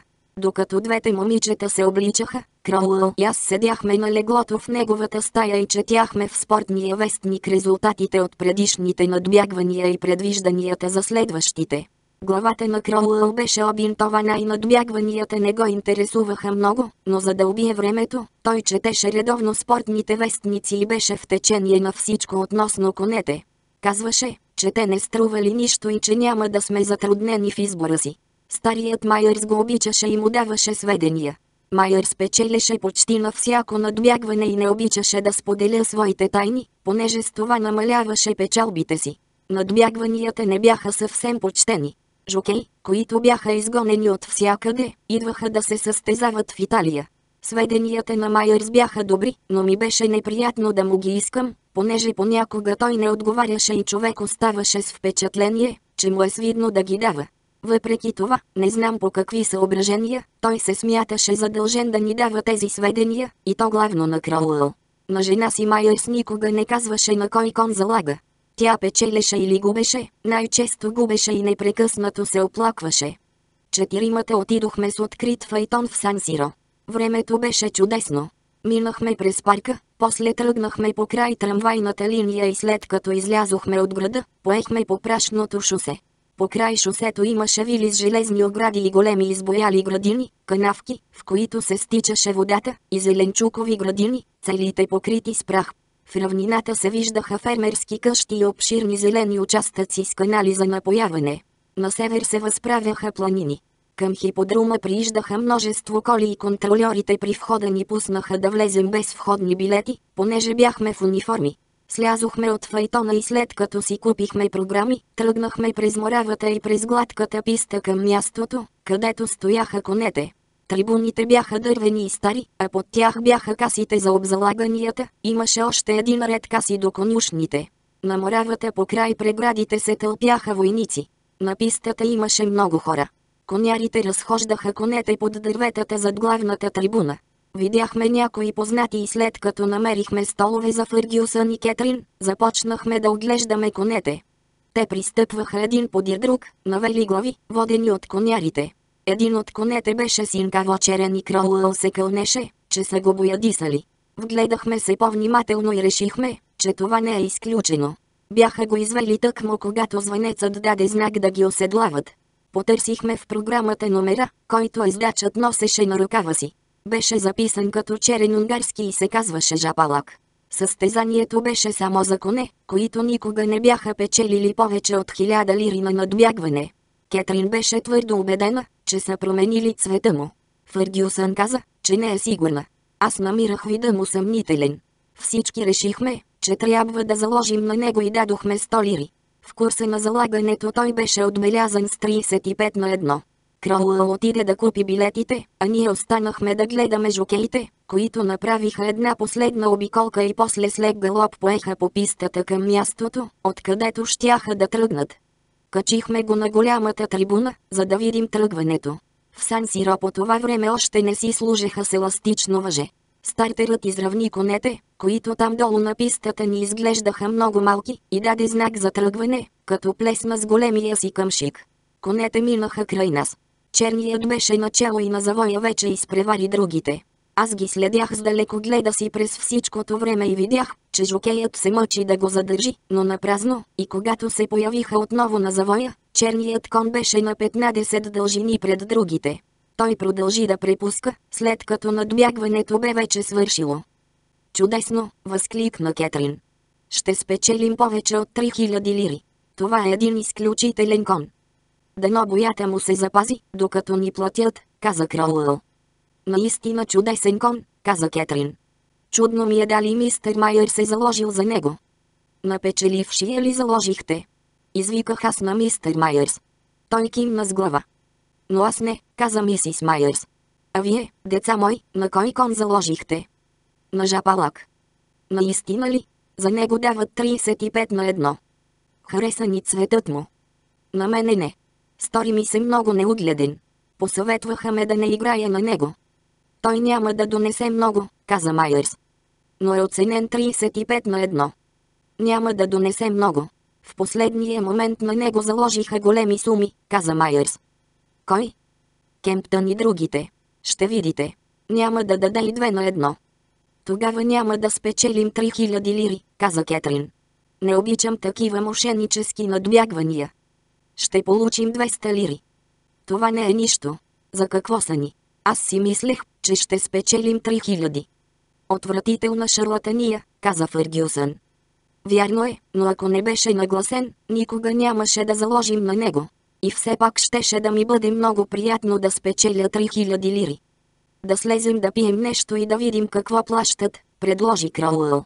Отидохме на мястото, където обявяваха номерата. Звънецът даде знак за изплащане и жапалак. Победителят беше котиран 18 на 50, което означаваше, че човек не получава дори и стоиността на един облак от 10 лири. Влязохме в бара под голямата трибуна, за да пием по едно уиски с сода. Намерихме двама италианци, които познавахме, и Мак Адамс, вице-консула. Те тръгнаха с нас и отидохме заедно при момичетата. Италианците се държаха сдържано, а Мак Адамс остана да разговаря с Кетрин, когато слязохме да заложим още веднъж. Мистер Майерс стоеше до една от близките каси. Попитай го на кой кон е заложил. Казах аз на Кроуъл. На кой кон заложихте, мистер Майерс? Попита Кроуъл. Майерс извади програмата си и посочи с върха на молива си номер 5. Ще имате ли нещо против, ако заложим и ние на същия? Попита Кроуъл. Залагайте, залагайте, само не казвайте на жена ми, че аз съм ви посъветвал. Искате ли да пиете нещо? Не, благодаря. Не пия.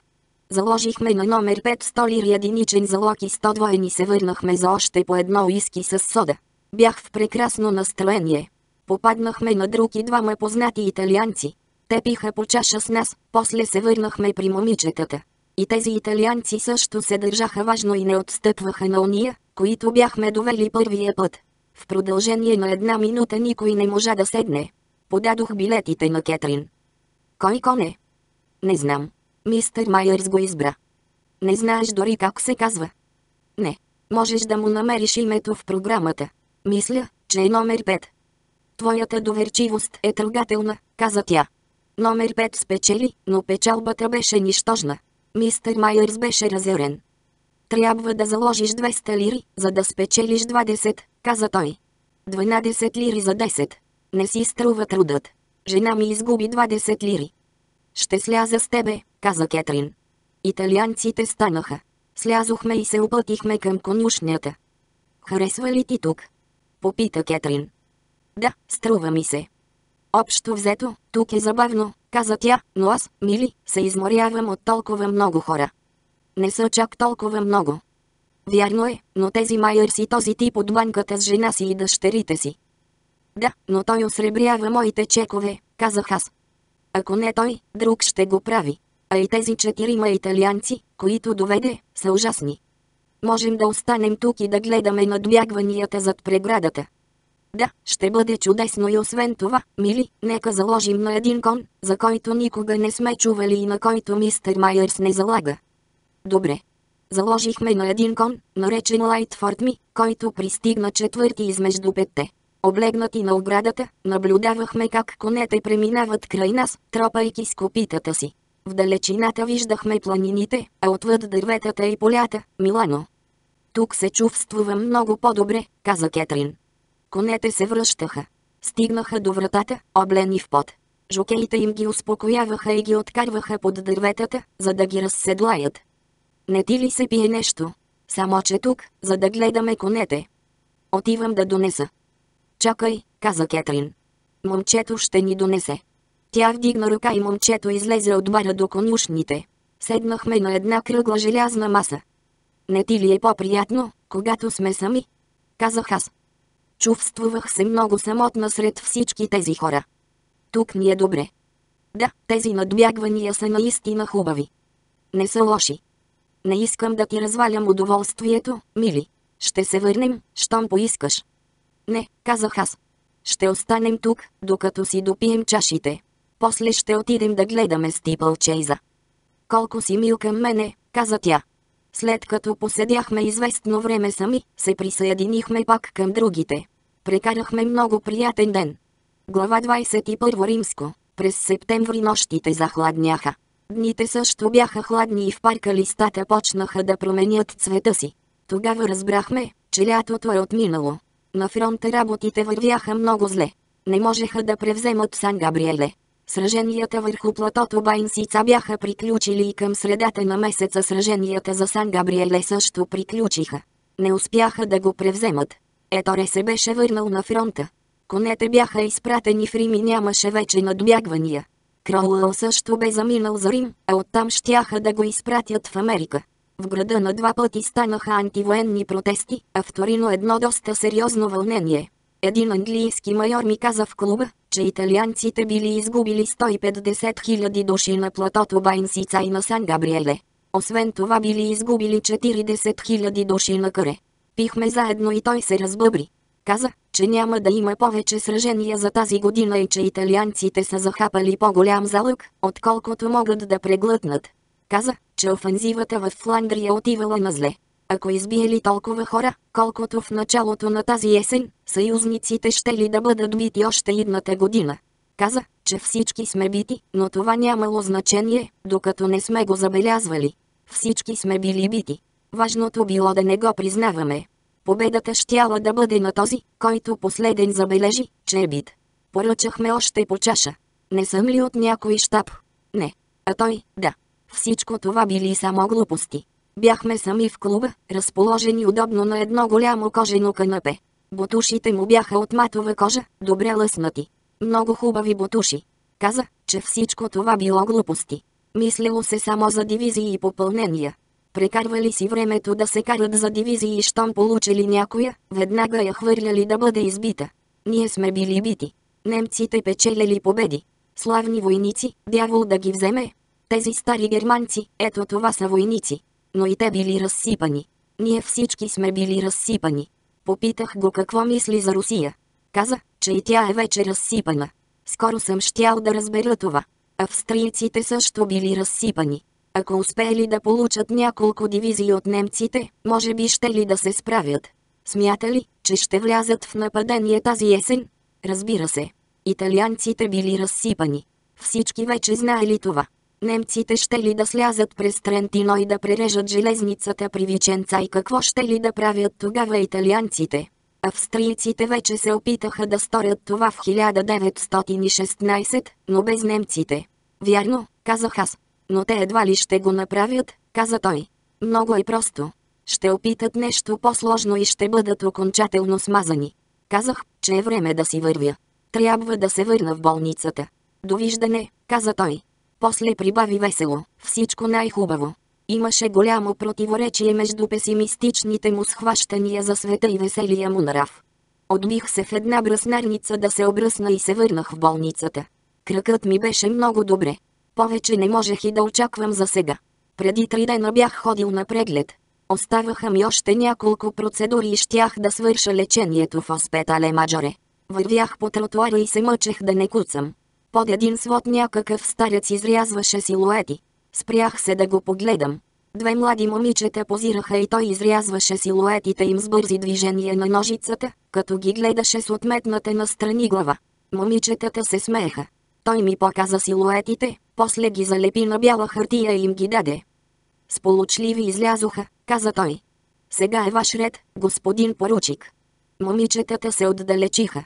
Те разглеждаха силуетите си и се смееха. И двете бяха хубави. Едната работеше при търговеца на вина срещу болницата. Добре. Свалете си фуражката. Не, искам да бъда с нея. Няма да е толкова хубаво, каза старецът, но ще бъде по-воинствено. Лицето му се проясни. Той заизрязва черната хартия, после раздели двете половини на листа, залепи профилите на един картон и ми ги подаде. Колко? Нищо. Той махна с ръка. Подарявам ви ги. Но, моля ви. Подадох му дребни пари. Не, направих ви ги за свое удоволствие. Дайте ги на вашата приятелка. Благодаря много и довиждане. Довиждане. Продължих пътя си към болницата. Там намерих писма, едно официално и две-три други. Даваха ми три седмици отпуск, за да се възстановя, преди да се върна на фронта. Препрочетох внимателно писмото. Да, така беше. Отпускът ми почваше от 4 октомври, когато свършвах лечението. Три седмици правеха 21 ден. Значи, до 25 октомври. Обадих се, че ще поизляза, и отидох в един ресторант малко по-нагоре от болницата да вечерям и да прочета писмата си и Кориере де Лъсера. Имаше едно писмо от дядо ми с новини за семейството ми, патриотични насърчения, чек за 200 долара и няколко изрезки от вестник, едно скучно писмо от нашия свещеник от стола, едно от един приятелетец, който служеше в френската авиация, в което говореше как попаднал в някаква весела компания, една бележка от Риналди, който ме питаше колко време още ще клинча в Милано и какви са новините. Молеше ме да му занеса грамофонни плочи и ми даваше списък кои. С вечерята изпих една малка бутилка кянти. Пих кафе и чашка коняк, дочетох вестника, пъхнах писмата в джоба си, оставих вестника на масата с почерпка за момчето и излязох. В стаята си в болницата се съблякох, облякох пижамата и халата си, спуснах пердетата на балконската врата, седнах на леглото си и взех да чета бостънските вестници, които мисис Майърс беше изпратила в болницата за своите мили момчета. Хуайт Сокс от Чикаго бяха спечелили наградата на Американската лига, а екипът на Нью-Йоркските Giants бяха първенци на Националната лига. Бейпрут играеше за Бостън. Вестниците бяха скучни. Съдържаха само местни новини, вече остарели, новините за войната също бяха стари. Американските новини говореха само за лагерите за обучение. Радвах се, че не съм в такъв лагер. Оставаше ми да чета само за резултатите от бейсбол, а и те не ме интересуваха особено. Невъзможно беше да четеш такъв голям клуб вестници с интерес.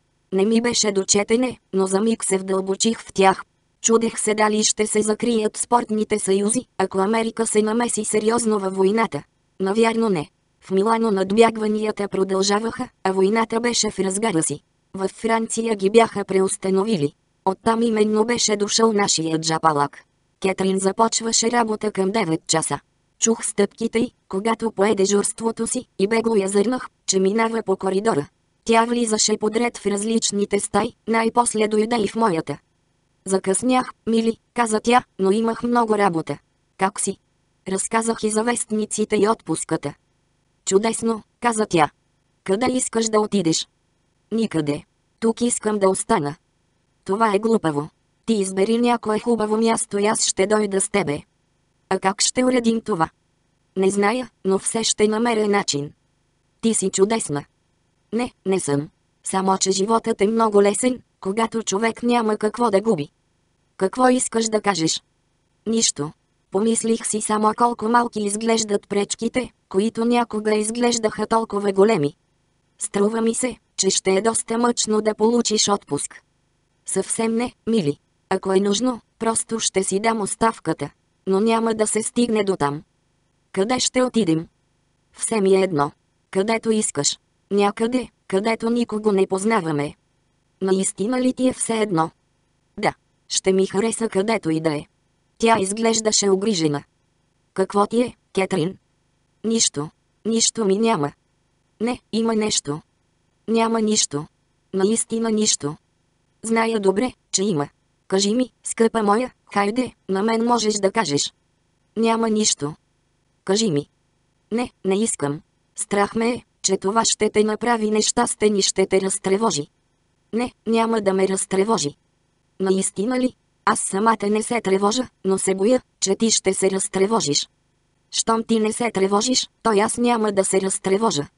И все пак не искам да ти кажа. Кажи. Необходимо ли е? Да. Ще имам бебе, мили. Вече почти трети месец. Това няма да те разтревожи, нали? Моля те, не се безпокой. Добре, няма. Наистина ли? Разбира се. Направих всичко. Взех всичко, което беше нужно. Но не помогна. Няма защо да се тревожиш. Нищо не можах да сторя, мили. Но не се разтревожих. И ти също не трябва да се тревожиш, да се безпокоиш за това. Само за тебе се безпокоя. Ето, точно това не искам. Всеки ден се случва да се раждат деца. Всички имат деца. Това е нещо съвсем естествено. Ти наистина си прекрасна. Да не мислим повече за това, мили. Ще се помъча да не ти причинявам грижи. Зная, че преди малко те разтревожих, но до сега не се ли държах като смело момиче? Ти до сега не забеляза нищо, нали? Не. Ще бъде все така. Ти просто не бива да мислиш за това, не бива да се измъчваш. Виждам, че се тревожиш. Не бива. Искаш ли да пиеш нещо, мили?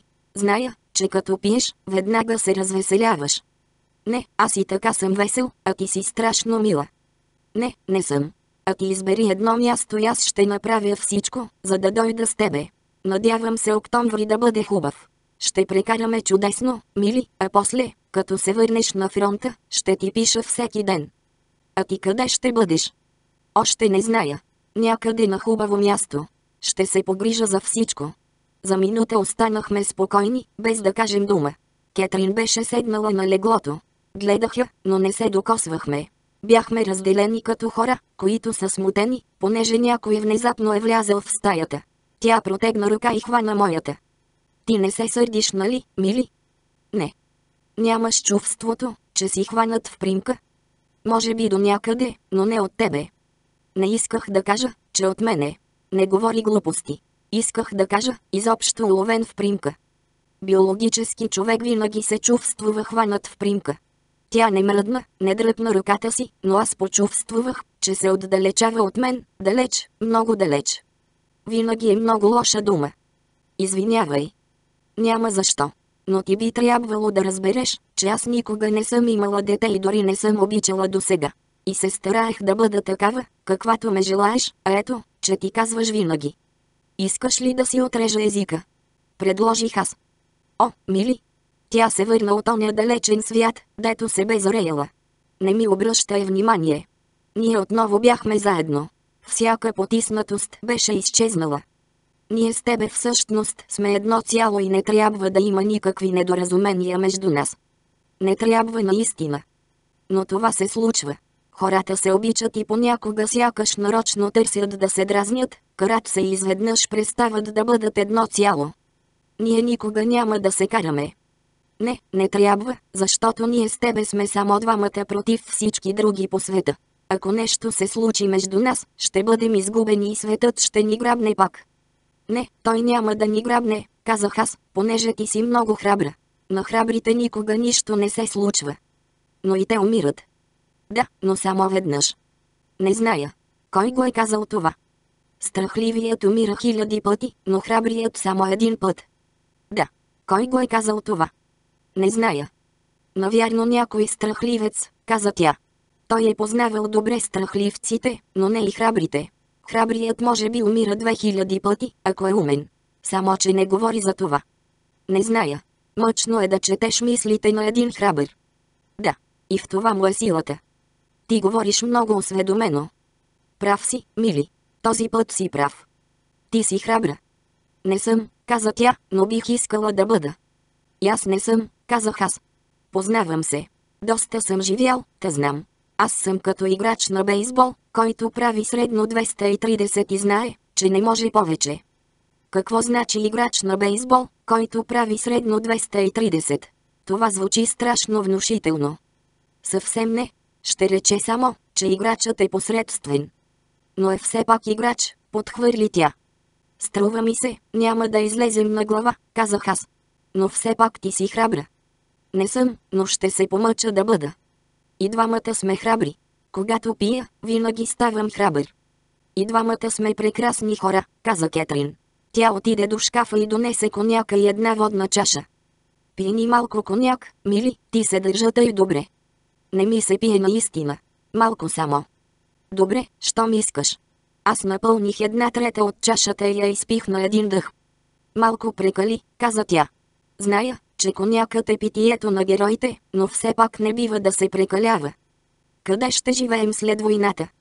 Навярно в някой приют за старци, каза тя. Цели три години бях толкова наивна, че очаквах войната да свърши до коледа. Но сега вече не се надявам да свърши преди нашият син да е станал поручик. Може би ще бъде генерал. Ако войната е 100 годишна, ще има време да стане и генерал. Ти не искаш ли да пиеш? Не. Тебе това те развеселява, мили, но на мене само ми замайва главата. Никога ли не си пила коняк? Не, мили. Аз съм много старомодна жена. Пресегнах се за бутилката, която бях сложил на земята, и си налях още една чаша. Трябва да отида да наобиколя твоите съотечественици, каза Кетрин. А ти в това време навярно ще дочетеш вестниците.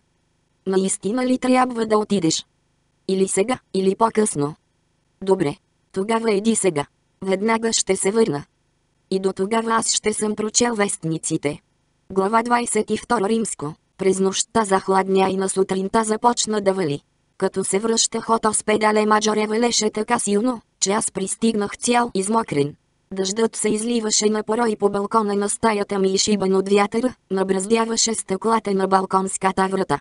Преоблякох се и изпих чаша коняк, но вкусът му ми беше неприятен. Цялата нощ ми беше зле, а на сутринта след закуска ми се повръщаше. Няма съмнение, каза главният лекар, погледнете бялото на очите му, мис Гейдж. Мис Гейдж погледна. Дадоха ми огледало и аз да се видя. Бялото на очите ми беше съвсем жълто. Имах жълтеница. Лежах две седмици. По тази причина не можахме да прекараме заедно моя отпуск. Бяхме намислили да отидем в паланца на Лаго Маджоре. Там есента е много хубава, когато листата на дърветата започват да жълтеят. Има чудесни места за разходка и може да се лови пастър в езерото. По-хубаво щеше да бъде, отколкото в Стреза, защото няма толкова хора. От Милано се отива така лесно в Стреза, че винаги срещаш познати. Близо до Паланца има едно хубаво селце, оттам може да се отиде с лодка до островите, където живеят рибарите, а на най-големия остров има ресторант. Но ние не можахме да отидем. Един ден, докато лежах от жълтеницата, мис Ван Кемпън влезе в стаята ми, отвори шкафа и видя празните бутилки. Бях накарал вратаря да свали долу цял куп от тях и предполагах, че го е видяла, като ги е изнасил, и е дошла да види дали има още.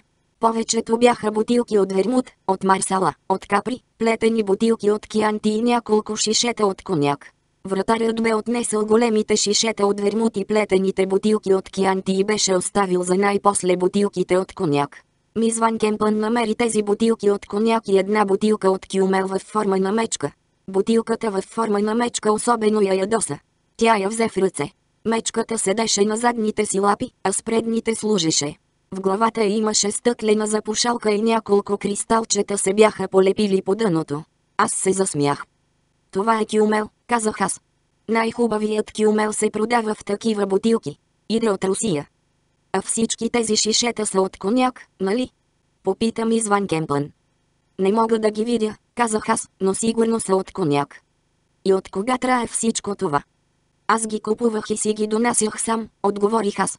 Често ми идваха италиански офицери на гости и аз винаги гледах да имам нещо да им предложа. А вие самият не пиехте ли? Каза тя.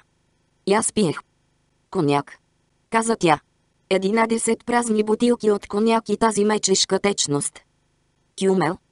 Ще пратя някой да ги прибере. Това ли са всички празни шишета, които имате? За сега, да.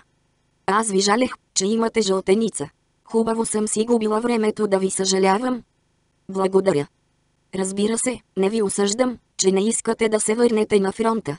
Но мисля, че можехте да измислите нещо по-умно, отколкото да си докарвате жълтеница, като се наливате с алкохол. Като какво? Като се наливате с алкохол. Много добре ме чухте какво казах. Не отговорих нищо. Ако не измислите друго нещо, страхувам се, че ще трябва да се върнете на фронта, щом ви мине жълтеницата. Не смятам, че след една доброволно предизвикана жълтеница ви се полага възстановителен отпуск. Не смятате ли? Не, не смятам. Боледували ли сте някога от жълтеница, мис Кемпън? Не, но не веднъж съм виждала болни от нея. Забелязали ли сте каква наслада доставя тя на болните? Предполагам, че тя е за предпочитане пред фронта. Мис Кемпън, казах аз, чували ли сте някога за човек, който, за да се избави от военна повинност, си нанася удари в слабините? Мис Ван Кемпън се престори, че не чува въпроса ми. Трябваше да се престори, че не е чула, или да напусне стаята. Но тя не искаше да си отиде, понеже отдавна ми имаше зъб, и сега беше дошъл часът да си разчисти сметките с мене. Познавам много войници, които се отърваха от фронта, като умишлено си нанесоха рани. Не ви питах за това. И аз съм виждал умишлени самонаранявания. Питах ви дали сте виждали някога човек, който, за да се избави от военна повинност, сам се удря по слабините. Защото това усещане е най-близко до жълтеницата и съм уверен, че твърде малко жени са го изпитали. Затова ви попитах дали някога сте боледували от жълтеница, мис Ван Кемпън, защото... Мис Ван Кемпън излезе от стаята. Малко след това дойте мис Гейдж. Какво казахте на Ван Кемпън? Беше разярена. Сравнявахме разни усещания. Тък му се канех да намекна, че тя никога не е изпитвала болките на раждането. Вие сте луд, каза Гейдж. Тя ще ви напакости. Тя вече го стори, отвърнах аз. Провали ми отпуска, а може дори да ме закара и пред военен съд. И на това е способна. Още от самото начало не ви обича, каза Гейдж. За какво е всичко това? Твърди, че нарочно съм пил и съм си докарал жълтеницата, за да не се върна на фронта. Фу! Каза мис Гейдж. Готова съм да се закълна, че никога капка не сте слагали в устата си. Всички ще се закълнат в това. Тя намери шишетата. Сто пъти ви казах да ги махнете. Къде са? В шкафа. Имате ли куфър? Не. Сложете ги в раницата ми. Мис Гейдж сложи бутилките в раницата. Ще ги дам на вратаря, каза тя и тръгна към вратата. Една минута, каза мис Ван Кемпън. Тези бутилки ще взема аз. Водеше със себе си и вратаря. Отнесете всичко това, моля, каза тя. Искам да ги покажа на доктора, когато му докладвам. Тя се отдалечи по коридора. Вратарят взе раницата. Той знаеше какво има вътре. Свърши се с това, че изгубих отпуска си. Глава 23 Римско. Вечерта, когато щях да замина за фронта, пратих вратаря да ми запази едно място във влака от Торино. Влакът заминаваше в полунощ. Той се композираше в Торино, пристигаше в Милано към 10 часа вечерта и стоеше на гарата до тръгването. Човек трябваше да е там, когато той пристига, за да си намери място. Вратарят взе със себе си един приятел, картечар в отпуск, който работеше в шивашка работилница, и беше сигурен, че двамата ще могат да ми запазят място. Дадох им багажа си и пари за перонни билети. Багажът ми се състоеше от раница и две платнени турби. Към 5 часа си взех с Богом в болницата и излязох. Вещите ми бяха вече в стаята на вратаря и аз му казах, че ще бъда на гарата малко преди полунощ. Жена му ми викаше синьорино и плачеше. Тя си изтри очите, стисна ми ръката и после пак заплака. Потупах я по рамото, но тя заплака още по-силно. Беше ми кърпила дрехите през всичкото време. Беше дребна, пълничка, с весело лице и бели коси. Когато плачеше, лицето й загубваше всякакви очертания. Отидох в кръчмата на ъгъла и зачаках, като гледах през прозореца. Вън беше тъмно, студено и мъгливо. Платих кафето и ракията си и гледах как минават хора край осветения прозорец. Забелязах Кетрин и почуках на стъклото. Тя обърна глава, видя ме и се усмихна. Излязох да я пресрещна. Носеше тъмно синя пелерина и мека касторина шапка. Тръгнахме заедно по тротуара край кръчмите, минахме пазарния площад и продължихме нагоре по улицата, минахме подарката и стигнахме на площада пред катедралата. Тя се намираше отвъд трамвайните релси, които пресичаха площада, и сега се издигаше бяла и мокра в мъглата. Ние прекосихме трамвайните линии. Вляво от нас имаше магазини с осветени витрини. Тук започваше галерията. На площада мъглата беше още по-гъста и когато стигнахме пред катедралата, тя ни се стори още по-грамадна, а камъните мокри. Искаш ли да влезем? Не, каза Кетрин. Продължихме нататък. Някакъв войник стоеше с приятелката си в сянката на един от каменните контрафорси. Минахме край тях. Те стояха плътно притиснати до стената и той я бе загърнал с наметката си. Те са като нас, забелязах аз. Никой не е като нас, каза Кетрин и в забележката и се чувствуваше тъга. Да имаше поне къде да отидат. Може би така им е по-добре. Не зная. Всеки трябва да има къде да се подслони. Могат да влязат в катедралата, каза Кетрин. Бяхме я отминали. Стигнахме до края на площада и погледнахме назад към катедралата. Беше хубава в мъглата. Стояхме пред един магазин с кожени изделия. На витрината имаше бутуши за езда, една чанта и скиорски обувки. Чантата беше в средата, бутушите от едната страна, обувките от другата. Кожата беше тъмна и гладка и лъскава като на протрито седло и върху тази тъмна, намазана кожа електрическата светлина хвърляше блестящи отражения. Един ден ще идем на ски. След два месеца започва ски сезона в Мюрен, каза Кетрин. Хайде да отидем. Хайде, каза тя. Минахме и край други витрини и свихме в една странична улица. Никога не съм идвала тук. От тук минавах за болницата, казах аз. Улицата беше тясна. Ние вървяхме по десния тротуар. Много хора минаваха из мъглата. Витрините на всички магазини, по край които минавахме, бяха осветени. Загледахме се в една витрина, цялата отрупана с разни видове сирене. Аз се спрях пред един магазин за оръжия. Да влезем за миг. Трябва да си купя някакво оръжие. Какво оръжие? Пистолет. Влязохме. Откопчах колана си и го сложих на тезгяха с празния кобур. Зад тезгяха имаше две жени. Те донесоха няколко пистолета. Трябва да пасва на кобура, казах аз, като го отворих. Кобурът беше от сива кожа, бях го купил на старо, за да го нося из града. Добри пистолети ли са тези? Попита Кетрин. Всички са почти еднакви. Мога ли да опитам този? Попитах аз жената. Нямаме място, където бихте могли да стреляте, каза тя, но пистолетът е много добър. Няма да съжалявате. Натиснах спусъка, свалих предпазителя. Пружината беше доста стегната, но се движеше леко. Аз се прицелих и пак дръпнах. Употребяване, каза жената. Принадлежеше на един офицер, който беше много добър стрелец. Вие ли му го продадохте? Да. Как попадна отново при вас? Чрез неговия ординарец. Може би ще получите по същия начин и моя, казах аз. Колко струва? 50 лири. Много ефтин. Добре. Искам и една котия с патрони и два резервни пълнителя. Тя извади пълнителите и патроните изпод тезгяха. Нямате ли нужда от сабя? Попита тя, имам употребявани саби, много ефтини. Отивам на фронта, казах аз. О, тогава нямате нужда от сабя, каза тя. Платих пистолета и патроните, заредих пълнителя и го поставих на място. След това пъхнах пистолета в празния кобур, напълних двата пълнителя и ги поставих в кожените джобове на кобура, после си припасах колана. Той увисна под тежестта на пистолета. Все пак, реших аз, по-добре е да имаш стандартен пистолет. Винаги можеш да му намериш патрони. Сега съм вече въоръжен, казах аз. Това беше нещо, което на всяка цена трябваше да свърша, преди да тръгна. Откраднаха ми моя, когато ме принасяха в болницата. Надявам се, че това е един хубав пистолет, каза Кетрин. Може би желаете още нещо? Попита жената.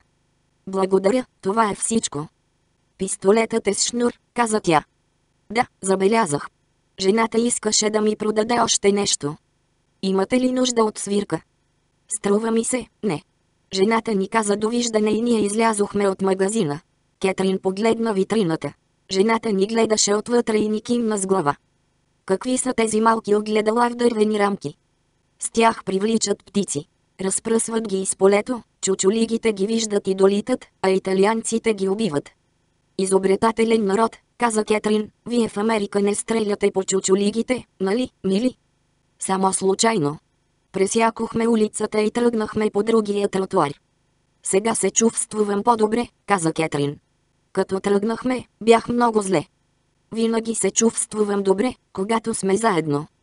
Винаги ще бъдем заедно. Да, само че в полунощ тръгвам. Не мисли за това, мили. Вървяхме по улицата. От мъглата светлините изглеждаха жълти. Не си ли уморен? Попита Кетрин. А ти? Не съм. Приятно е да се върви. Но не много дълго. Свихме в една улица, дето нямаше осветление. Спрях се да целуна Кетрин. Както я целувах, усетих ръката и на рамото си. Тя се беше свила под пелерината ми, тъй че и двамата бяхме покрити с нея. Стояхме на улицата, облегнати на един висок зид. Да отидем някъде, казах аз. Добре, отговори Кетрин. Вървяхме по улицата, докато стигнахме една по-широка улица, която водеше край един канал. От другата страна имаше тухлен зид и здания. Пред нас, в дъното на улицата, видях трамвай, който минаваше по един мост. На моста можем да вземем файтон, казах аз. Отидохме на моста и зачакахме в мъглата. Минаха няколко трамвая, пълни с хора, крито се прибираха у дома си. Зададе се един файтон, но не беше свободен. Мъглата се превърна в дъжд. Да вървим пеш или да вземем трамвая, предложи Кетрин. Скоро ще дойде някой файтон, казах аз. От тук минават много. Ето един, каза тя. Файтонджията спря коня и свали металическия знак на брояча си. Покривът на файтона беше вдигнат и под рехата на файтонджията се стичаха капки вода. Лъскавият му цилиндър блестеше под дъжда. Ние седнахме на задната седелка. От вдигнатия гюруг вътре беше съвсем тъмно. Къде му каза да кара? На гарата. Има един хотел срещу гарата, където можем да отидем. Ще ни приемат ли така, без багаж? Разбира се, казах аз. Дълго пътувахме под дъжда по разни странични улички, докато стигнем гарата. Няма ли да вечеряме? Каза Кетрин. Страхувам се, че скоро ще огладнея. Ще вечеряме в стаята. Нямам нищо за преобличане, дори и нощница нямам. Ще купим една, казах аз и извиках на файтонджията, свърнете по Вия Манцони. Той кимна и пое по първата улица вляво. На голямата улица Кетрин потърси магазин. Ето един, каза тя. Помолих файтонджията да спре. Кетрин слезе, прекоси тротуара и влезе. Аз останах да я чакам в файтона. Валеше и аз усещах мириса на мократа улица и изпаренията на коня под дъжда. Кетрин се върна с един пакет и се качи. Потеглихме. Позволих си разточителство, мили, каза тя, но нощницата е много хубава. Пред хотела помолих Кетрин да почака в файтона, а аз влязох да преговарям с управителя. Имаше колкото искаш стай. Върнах се пак навън, платих на човека и влязохме с Кетрин. Едно пиколо в ливрея носеше пакета. Управителят с поклон ни подкани към асансьора. Навсякъде имаше червен плюш и месинг. Управителят се качи с нас в асансьора. Мониел и мадам сигурно желаят да вечерят в стаята си. Да. Изпратете ни менюто, моля. Желаете ли нещо по-специално за вечеря, дивеч или суфле? Асансьорът изкачи три етажа, като на всеки етаж леко изтракваше. След още едно изтракване той спря. Какъв дивеч имате? Мога да ви предложа фазан или бекас. Бекас, казах аз. Тръгнахме през коридора. Килимът беше изтъркан. Имаше много врати. Управителят се спря пред една врата, отключи и я отвори. Моля, заповядайте. Стаята е чудесна. Пиколото сложи пакета на масата в средата на стаята. Управителят вдигна пердетата. Вън има мъгла, каза той. Стаята беше обзаведена в червен плюш. Имаше много огледала, два стола и едно голямо легло с атлазена покривка. Една врата водеше към банята. Ще ви изпратя менюто, каза управителят. Той се поклони и излезе. Отидох до прозореца и погледнах навън, после дръпнах един шнур и плътните плюшени завеси се спуснаха. Кетрин седеше на леглото и гледаше кристалния полилей. Беше си свалила шапката и косите и блестяха на светлината. Тя се видя в едно от огледалата и посегна към косата си. Аз я виждах в три други огледала. Не изглеждаше весела. Пелерината й се свлече на леглото. Какво има, мила? До сега не бях имала чувството, че съм уличница, каза тя. Аз отидох до прозореца, отдръпнах завесите и се загледах навън. Не бях предвидил, че работите ще се развият така. Но ти не си уличница. Знам, скъпи, но не е приятно да се чувствуваш такава. Гласът ти беше сух и беззвучен. Това е най-хубавият хотел, в който можехме да отидем. Аз гледах през прозореца. От другата страна на площада блестяха светлините на гарата. По улицата минаваха файтон и аз виждах дърветата в парка. Светлините на хотела се отразяваха върху мократа настилка на улицата. Подяволите, мислех си аз, защо трябва тък му сега да спорим. Ела тук, моля те, каза Кетрин. Гласът ти звучеше напълно естествено. Ела, аз пак съм си доброто и разумно момиче. Погледнах към леглото. Тя се усмихваше. Приближих се, седнах до нея и я целунах. Ти си моето добро, малко момиче. Да, разбира се, че съм твоя, каза тя. Докато вечеряхме, настроението ни се повиши, а по-късно дори се почувствувахме щастливи. Скоро стаята ни се стори като наш дом. Моята стая в болницата беше също наш дом, точно като тази. През време на вечерята Кетрин седеше наметната с моята куртка. Бяхме много гладни и яденето беше много хубаво. Изпихме една бутилка капри и една сенте стефе. Аз изпих по-голямата част. Кетрин също пи и това я развесели. Поднесоха ни бекас с суфле от картофи и пюре от кестени, салата и крем за десерт. Стаята е много хубава, каза Кетрин. Прекрасна стая. Тук трябваше да живеем през нашия престой в Милано. Смешна стая, но приятна. Порокът е чудесно нещо, каза Кетрин. Хората, които му се отдават, изглежда, имат добър вкус. Този червен плюш е наистина много хубав. Съвсем подходящ, и огледалата са прелестни. Ти си едно възхитително момиче. Питам се какво ли впечатление може да ти направи такава една стая, като се събудиш сутринта. Общо взето, това е една чудесна стая. Аз си налях още една чаша сенте Стефе. Бих искала да извършим някакъв истински грях, каза Кетрин. Всичко, което вършим, изглежда тъй просто и тъй невинно. Не мога да повярвам, че вършим нещо нередно. Ти си славно момиче. Чисто и просто много съм гладна. Гладна съм като вълк. Ти си едно простодушно, мъничко момиче. Да, аз съм едно малко, простодушно момиче. Ти единствено разбра това. Веднъж, малко след като се запознах с тебе, прекарах цял един следобед да си мечтая как отиваме заедно в хотел Кавор и как прекарваме там. Това е било дръско. Но тук не е Кавор, нали? Не. Там не биха ни приели. Един ден ще ни приемат. Ето, виждаш ли, в това се различаваме, мили. Аз никога нищо не съм мечтала. Никога ли? Е, съвсем малко, каза тя. Ти си чудесно момиче. Налях си още една чаша. Аз съм едно малко, простодушно момиче, каза Кетрин. Отначало не мислех така. Мислех, че си малко смахната. Аз наистина бях малко смахната. Но не беше нищо сериозно. Ти не се оплаши от това, нали, мили? Великолепно нещо е виното, казах аз. Правите да забравяш всичко лошо. Прекрасно е, каза Кетрин.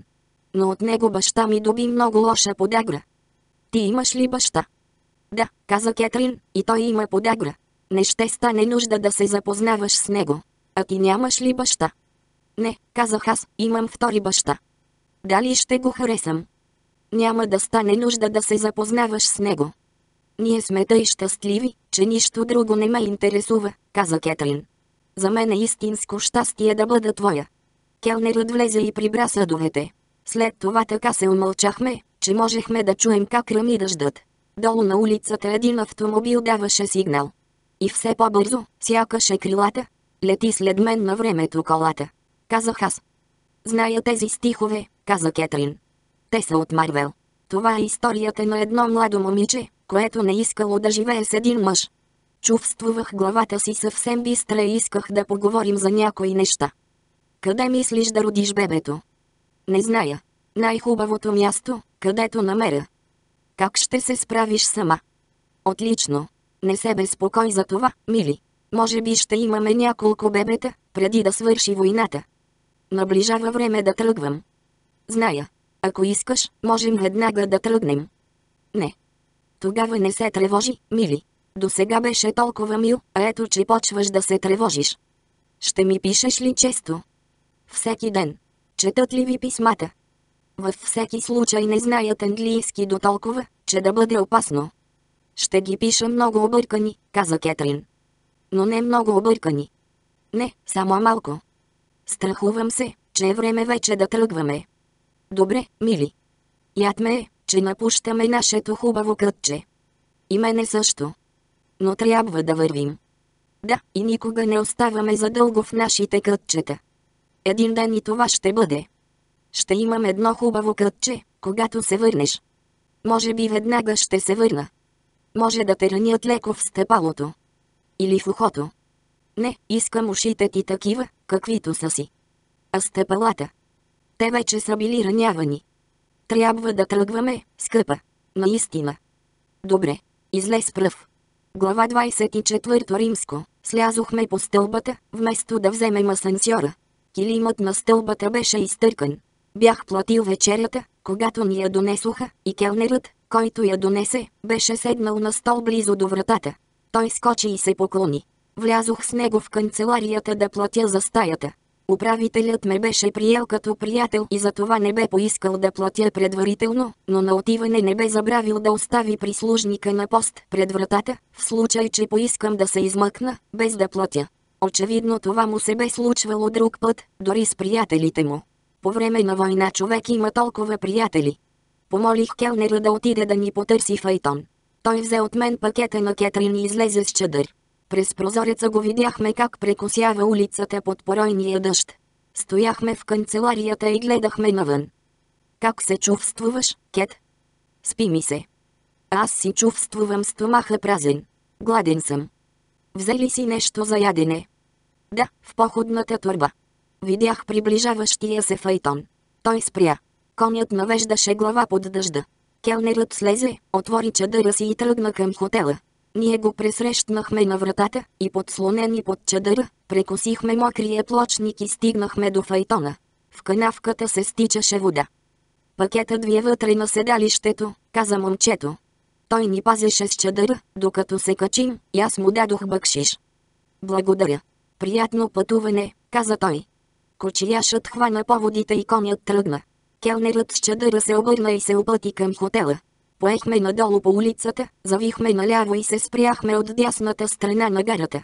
Двама карабинери стояха под фенера, където почти не попадаше дъжд. Светлината блестеше върху шапките им. Дъждът изгледаше чист и прозрачен на светлините на гарата. Един носач излезе изпод навеса, привел рамене под дъжда. Не, казах аз, благодаря. Нямам нужда. Той се върна и се подслони пак под навеса. Обърнах се към Кетрин. Вдигнатият гюрук хвърляше сянка върху лицето й. А сега да си кажем с Богом. Не мога ли аз да сляза? Не. С Богом, Кет. Ще му кажеш ли адреса на болницата? Дадох адреса на кочияша. Той кимна с глава. С Богом, казах аз. Грижи се за себе си и за малката Кетрин. С Богом, мили. Слязох на дъжда и файтонът тръгна. Кетрин се наведе и аз видях лицето й при светлината на фенера. Тя се усмихна и махна с ръка. Файтонът пое нагоре по улицата. Кетрин посочи с пръст навеса. Погледнах, но видях само двамата карабинери. Разбрах, че ми прави знак да се подслоня. Застанах под навеса и се загледах след файтона, който зави крайъгъла на улицата. Тогава прекосих чакалнята и тръгнах към влака. Вратарят ме чакаше на перона. Качих се с него във влака. Пробивахме си път между хората в коридора към купето, в което картечарят ми пазеше място. Раницата и турбите ми бяха в мрежата над главата му. Имаше много хора прави в коридора и тези от купето ни изгледаха, като влязохме. Нямаше достатъчно места във влака и всички бяха враждебни. Картечарят стана, за да ми отстъпи мястото си. Някой ме потупа по рамото. Озърнах се. Беше един артилерийски капитан, висок и мършав, с червен белек на челюстта. Той бе наблюдавал всичко през стъклото и бе влязъл. Какво искате? Попитах аз. Бях се обърнал с лице към него. Той беше по-висок от мене. Лицето му се удължаваше в сянката на козирката ми и раната изглеждаше свежа и лъскава. Всички в купето ме гледаха. Нямате право да правите това, каза той. Нямате право да пращате войник да ви запазва място. Но го направих все пак. Той преглътна и аз видях как адамовата му ябълка се издигна и спусна. Картечарят стоеше прав пред мястото. Хората от коридора гледаха през стъклото. Никой не продума. Нямате право да правите това. Аз бях тук два часа преди вас. Какво искате? Това място. И аз също. Наблюдавах физиономията му. Чувствувах, че цялото купе е против мене. Не можех да ги осъждам. Той имаше право. Но аз исках това място. Пак никой не продума. О, подяволите, помислих си аз, после казах. Седнете, сеньор капитан. Картечарят се отмести и високият капитан седна. Той ме изгледа. Имаше обиден вид, макар че получи мястото. Вземете вещите ми, казах аз на картечаря. Излязохме в коридора. Влакът беше пълен и аз знаех, че няма никакъв изглед да намеря място. Дадох по 10 лири на вратаря и на картечаря. Те минаха по коридора и слязоха на перона, като гледаха по всички прозорци, но места нямаше. Може би някои хора ще слязат в бреша, каза вратарят. Но ще се накачат други, каза другарят му. Казах им с Богом. Те ми стиснаха ръка и си тръгнаха. Бяха тъжни. Всички, които бяхме без места, стояхме прави в коридора, когато влакът тръгна. Гледах как отминават светлините на гарата и складовете. Продължаваше да вали и скоро стъклата на прозорците бяха тъй мокри, че нищо не се виждаше. По-късно легнах на пода в коридора и заспах. Но първо поставих портфейла с книжата и парите под ризата и панталоните си. Спах цялата нощ.